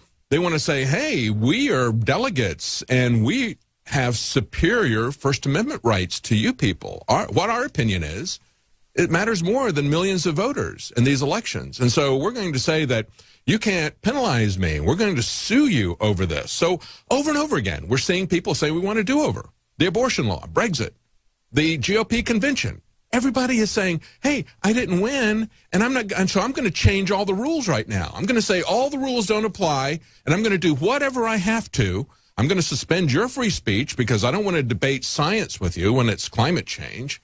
I don't want to hear what you have to say, so I'm going to call you a hateful racist and shut you down with hate speech laws. I'm going to do whatever I can to silence, to censor you, to pervert the law, the rule of law, the rules of democracy, the rules of our republic, just so I can get my way.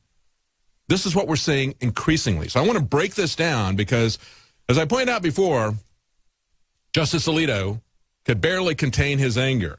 He was rocking back and forth in his seat, and I would have been too if I had been there. I would have been going back and forth. I was like, I can't believe this is happening. This is just uh, we're we're throwing everything out, and we've seen the Supreme Court do this before. We saw them do it on gay marriage. Regardless of what you think about gay marriage, they have no jurisdiction.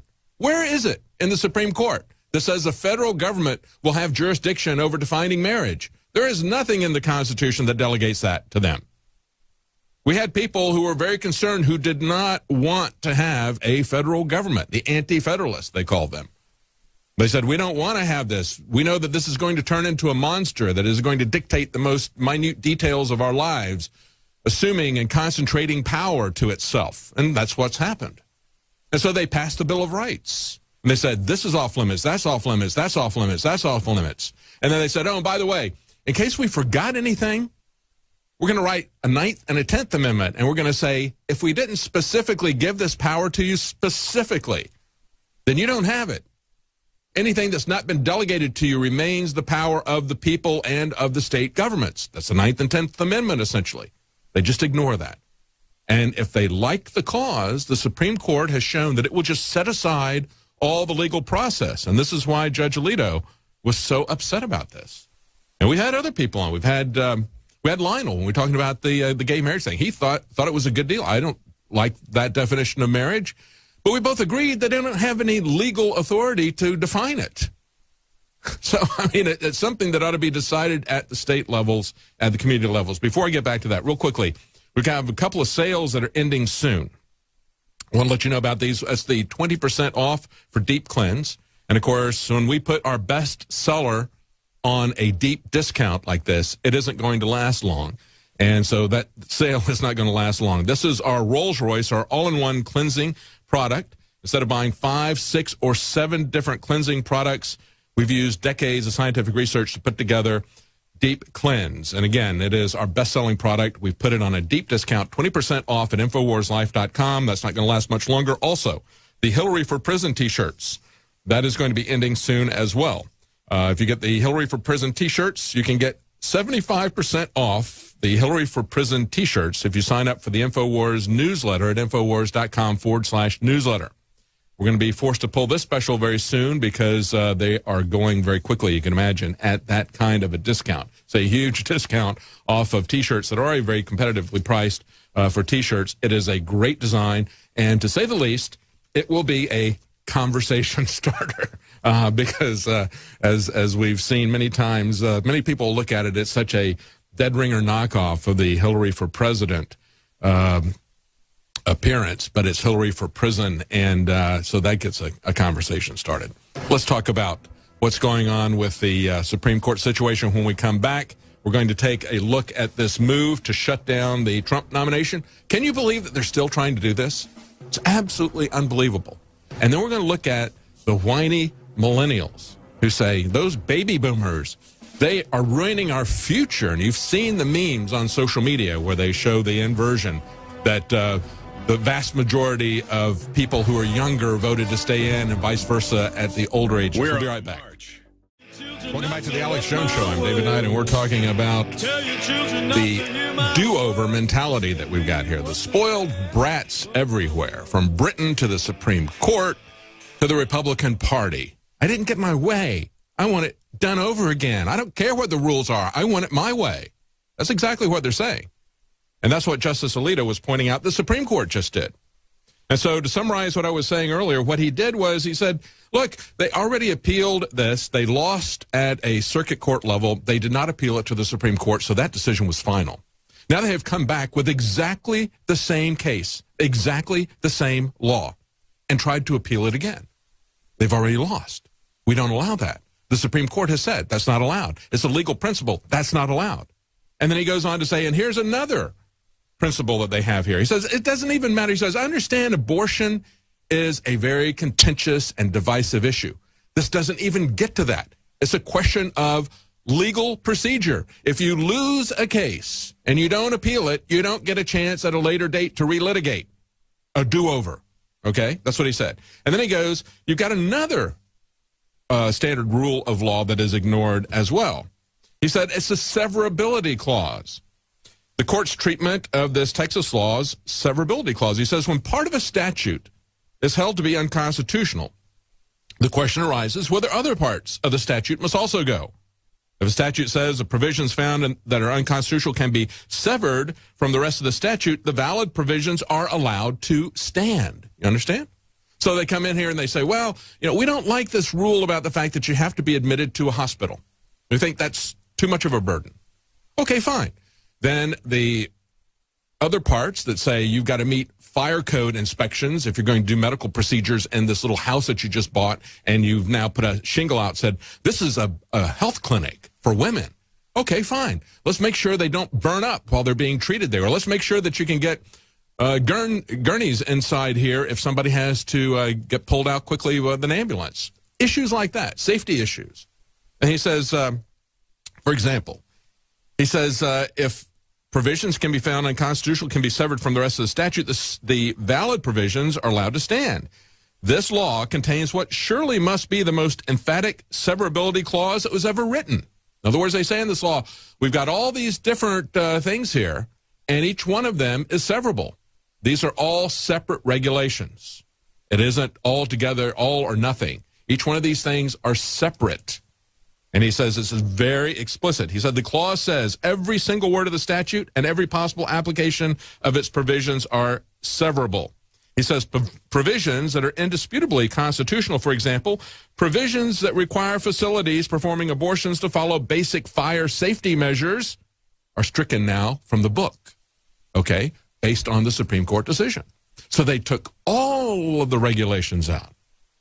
He says there's absolutely no possible justification for this collateral damage. Now, let me read you the nonsense that was put out here by these five Supreme Court justices. This is the basis for their decision. The number of facilities providing abortions dropped in half, and this is actually a Supreme Court decision. This is not this is not a New York Times analysis of what's going on. This is what the Supreme Court justices said was a basis for their uh, their ruling the number of facilities providing abortions dropped in half from about 40 to about 20. This decrease in geographical distribution means that the number of women of reproductive age living more than 50 miles from the clinic has doubled. The number living more than 100 miles away has increased by 150%. The number living more than 150 miles away by more than 350%. The number living more than 200 miles away by more than 2,800%. You see the issue here? This is an issue of whether or not they like they want people to have abortions. It doesn't even address the legal issues that Judge Alito was so upset about. They just said, well, we like abortions. We want them to be uh, plentiful and easily accessible. And so we don't like this, and we're going to strike all of the rules, including fire safety codes, because, you know, this is about women's health. This is about women's health, isn't it? What a baloney. You know, here are these people who have absolutely no health regulations in abortion clinics. They struck them all. Yet they want to regulate every tiny detail of bathrooms. They don't have an agenda, do they? no agenda whatsoever. Look at the University of North Carolina. Christmas vacation is now a microaggression. As I point out before, this is an article that's up on Infowars.com from the Daily Caller. University of North Carolina at Chapel Hill issued a guide this week which instructs students that uh, Christmas vacations and telling a woman, I love your shoes, are microaggressions along with things like boyfriend and girlfriend. So watch your speech, okay? Watch your speech. There's no free speech at this university. And at the same time, again, we're talking about agendas here, okay? We've got Obama declares the Stonewall Inn to be the first national monument to LGBT rights. This is from The Guardian. Barack Obama announced on Friday that the Stonewall National Monument will be created outside the Stonewall Inn in New York, where gay men, lesbians, and drag queens reacted to a police raid in 1969 with a riot that spread and turned into the gay rights movement in America and around the world. Obama confirmed the widely expected news that he will be designating the first ever national monument to the LGBT equality movement. Okay, so here you go. That's his. Um, that's his monument. Now, because that's his agenda. That's what he thinks is, is important. But understand what is happening as he's going in other parts, rural areas of the country. He's going in and saying, well, this is a very special petroglyph here, for example. And as I point out, we, we've done this uh, report. I did it with uh, Rob Jacobson. We need to update it now because they found uh, a lady who was going out and using paint on these petroglyphs. And you had Harry Reid blaming it on the Bundy people and all these evil uh, uh, people associated with them, and yet we find out that it was like a twenty-something uh, girl who was doing um, graffiti, and actually they caught her because she's putting it on Facebook, okay, and doing it with paint. over these ancient Indian petroglyphs. But Obama is coming out. Not only are they falsely blaming the uh, people that they are destroying their way of life, taking their property rights, taking their grazing rights, their mining rights, their surface and water rights, their logging rights, you name it. All these rights that have been held since these states came into the Union. And these are property rights, just like your home is a property right. They're saying we got to have that. We got to have millions of acres because of a petroglyph over here.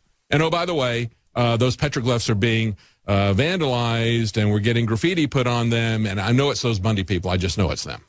And it's not. And they don't need to take millions upon millions of acres in order to protect that. A good example is one of the uh, earlier monuments that we had in the National Park Service. We talked about this in the report Devil's Tower. You know, Devil's Tower, the tower that you see in uh, Close Encounters of the uh, Third Kind. Was it Third Kind? I think. Anyway, that's Spielberg movie. Not one of my favorites, okay? But, you know, he does the uh, thing of mashed potatoes on the, uh, on the, uh, kitchen table and they all have this vision and they all assemble at Devil's Tower. To preserve Devil's Tower, they needed one and a half acres, about the size of a football field.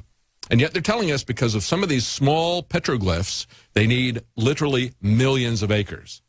They lie about everything.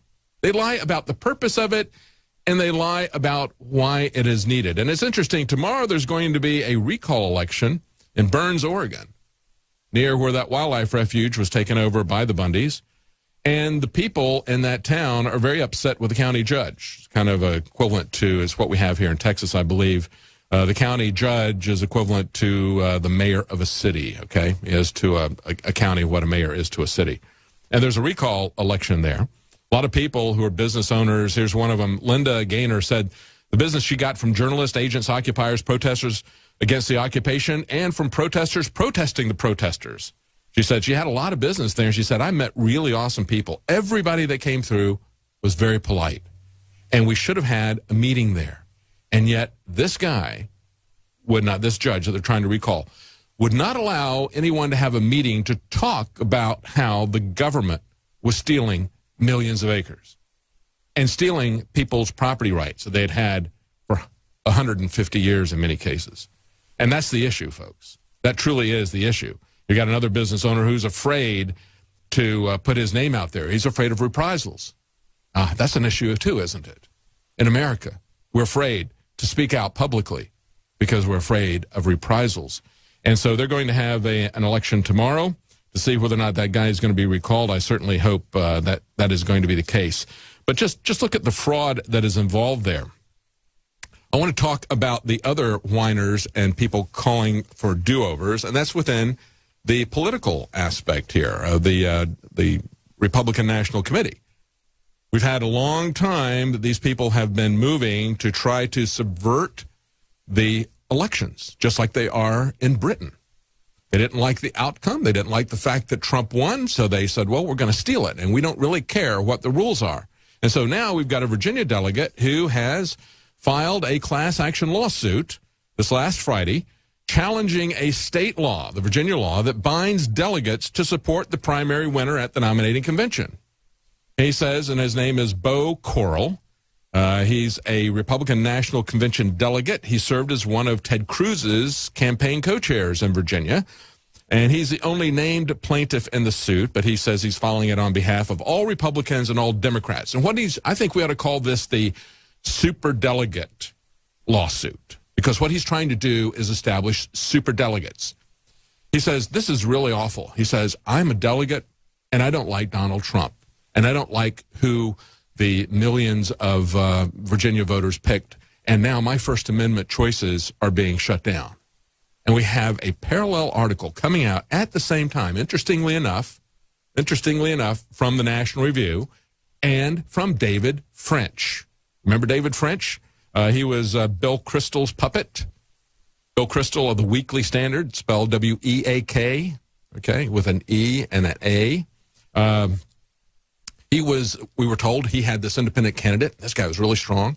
He's going to be a very viable candidate. Well, David French is nothing but a reporter for National Review and the Weekly Standard, and his candidacy lasted, I think, less than a week. But now, interestingly enough, for the National Review, he's written an article saying not a single Republican delegate is bound to Donald Trump and using the same arguments that this guy in Virginia is using in his lawsuit. Just a coincidence, I'm sure. Don't you think? Nah, no, uh, no conspiracy here to try to subvert the will of the people in the elections. No, that would never happen. Now, this is what the complaint says. Here's their argument. The First Amendment to the United States Constitution guarantees delegates to the Republican Party and the Democrat Party's national conventions the right to vote their conscience free from government compulsion when participating in selection of their party's presidential nominee. Okay? Nevertheless, a Virginia law acts to strip them of that right, imposing criminal penalties on delegates who vote for anyone other than the primary winner on the first ballot of a national convention. Oh, other than the primary winner. Oh, where did that, how did that happen? Well, you see, we had these elections. We had these things called elections that we used to, you know, honor. And we spent a lot of money in the state of Virginia to run those elections for the Republican Party. And there were certain things that were put out there, assurances to people that, hey, you know, you vote this, uh, we're going to have, Trump is going to get delegates or Cruz is going to get delegates. So Trump won the delegates and then Cruz went around and tried to steal them again. Okay. Uh, what is the problem with this? Why is it that we can say, well, here's the election. These are the number of votes that Donald Trump got. He won uh, Virginia overwhelmingly, like these other states. And then we say, but wait a minute uh, now that Ted Cruz has come in and uh, oiled his way across the floor and wined and dined these people, uh, now they're not going to vote the way the voters wanted. Okay, so I would ask Beau Correll and I would ask the GOP, what makes you think that you're so much better than everybody else? And I would say that really what needs to be done, they they they filed a um, a, a uh, part of their lawsuit said that they were worried that Donald Trump would file a lawsuit against them. They say, because Donald Trump, they said, is, quote, known to be litigious and has brought lawsuits of questionable merit against persons for the apparent purpose of harassing or punishing them. And I said, wait a minute, isn't that what this lawsuit is? Isn't this a litigious, frivolous lawsuit? Isn't this a means of harassing and punishing the voters of Virginia who didn't vote the way this little clique of elitists that think that they are the GOP party? No, the GOP party is the voters, and they're going to find this out if they try to do this. Now, they say that um, uh, he says, I, I just can't follow in my own conscience. I just can't vote for Trump. And it's like, fine, don't go. Don't go. You can leave. Let somebody else take your place. They have alternates. And you have to understand, as I pointed out before, when you go to the electoral college, uh, it's a winner state. It's a winner take all, state by state. So if Hillary Clinton wins Texas, she's got a slate of electors from Texas who are going to go to the electoral college. Same thing for the Republican candidate, for Donald Trump, okay? He's got a slate of Trump electors who are going to go there. And that's what people expect. That's what it says in the law. That's what it says in the bylaws of the Republican Party. So the Republican Party's rules and laws say that. The state's laws say that because they paid to run this election for these people. And it is nothing but racketeering and corruption for them to lie to the American people and to say, here's our election, and then come around the back door and say, but no, we had another election and our decision matters more than your decision. That's what we're seeing in the Democrat Party as well. They call it the super delegates there. But now we're seeing that in the Republican Party. Now let's talk about Brexit because we got a bunch of whining people who want to break the rules there as well. You got the millennials venting fury at the baby boomers. This is a Daily Mail article. They say 72% of the 18 to 24 year olds voted against Brexit. And of course, you've seen, if you look at social media, You've seen on Twitter and on Facebook, you've seen the graphic that says, uh, you know, age of the people and how many of them voted to remain, how many of them voted to leave. And they say, look at the life expectancy of these people. And they go down, they show the older people uh, voted to leave, and they say, look at this. They don't have to live with this decision. It's the young people who have to live with this decision. This is so unfair. I want another vote. Okay. Well, let me say to the young people out there that the reason the older people voted to leave is because they have lived with that decision. They made that decision. The baby boomers did. They were part of a generation that made that decision back in 1975. They said, we're not going to leave. There was a, a decision then. They voted overwhelmingly to remain in. And again, this is a story that I um, covered on Friday uh, from the Telegraph, uh, Tim Stanley, the day the British people defied their jailers. And he pointed out, he said, uh, David Cameron only called this in order to hold his own party together. Once it was called, he decided to turn the British and the global establishment against it. Out came the Treasury, the IMF, even the President of the United States to argue that Britain had to stay. This was textbook politics, how things used to be done, and it did work back in 1975 when the UK voted overwhelmingly on good advice to stay in the common market. But what have they found now? They have found that this is not an economic union. It is a political union. They found they lost their sovereignty. And when they lost their sovereignty, they got a bad deal economically. They got a bad deal with everything, with immigration. And I want to get back to these whiners and Brexit, saying they want a do-over. They didn't like the legal process. They didn't like the results. You know, they talk about being a 4% differential. No, really, it's 4% more than the 48% that leave got, that remain got. Okay, so that's uh, that's about a twelfth. Uh, so that's eight percent. So there's eight percent more people voted to get out than wanted to stay in. Four points, but eight percent more votes. I'm going to get back to that real quickly. We have a, a couple of sales that are going to be ending soon. One of those, of course, is the Hillary for Prison T-shirt sale. 75% off Hillary for Prison T-shirts when you sign up for our free newsletter our InfoWars newsletter at InfoWars.com forward slash newsletter. That newsletter itself will give you a lot of specials as well as unique content. That's a great thing to have. And as I point out, it's free. When you sign up for that, you'll get a code to get 75% off Hillary for Prison t-shirts. Those are going to sell out very quickly at that price. Also, our fastest selling formulation at InfoWarsLife.com, Deep Cleanse, is now on a deep discount, 20% off. And let me read you one of the many reviews. There are hundreds of reviews that you'll find on our website talking about it. This person says, I would buy this over and over again. This is uh, Christian uh, from an undisclosed uh, location. Says, bought it for my uncle. He loves results. Longtime smoker, also a truck driver, not the healthiest lifestyle, but within two weeks, he felt a lot better, more energy, and also helped him to lose a little weight. Take a look at the reviews there. Take a look at uh, the product and take advantage of this deep discount on Deep Cleanse, 20% off at InfoWarsLife.com. Now, as I was pointing out, let me go back and look at this. The people who remember this are the ones who voted to get this out. They have lived under this for 40 years. The millennials haven't. There's this thing called experience. And I know that the kids who are in college and in high school don't really understand what experience is yet, okay? Think of it as a kind of college degree a kind of an advanced graduate degree that takes you decades to get. Okay. That might help it a little bit for you to swallow these results. And let me tell you, these people have seen it all before.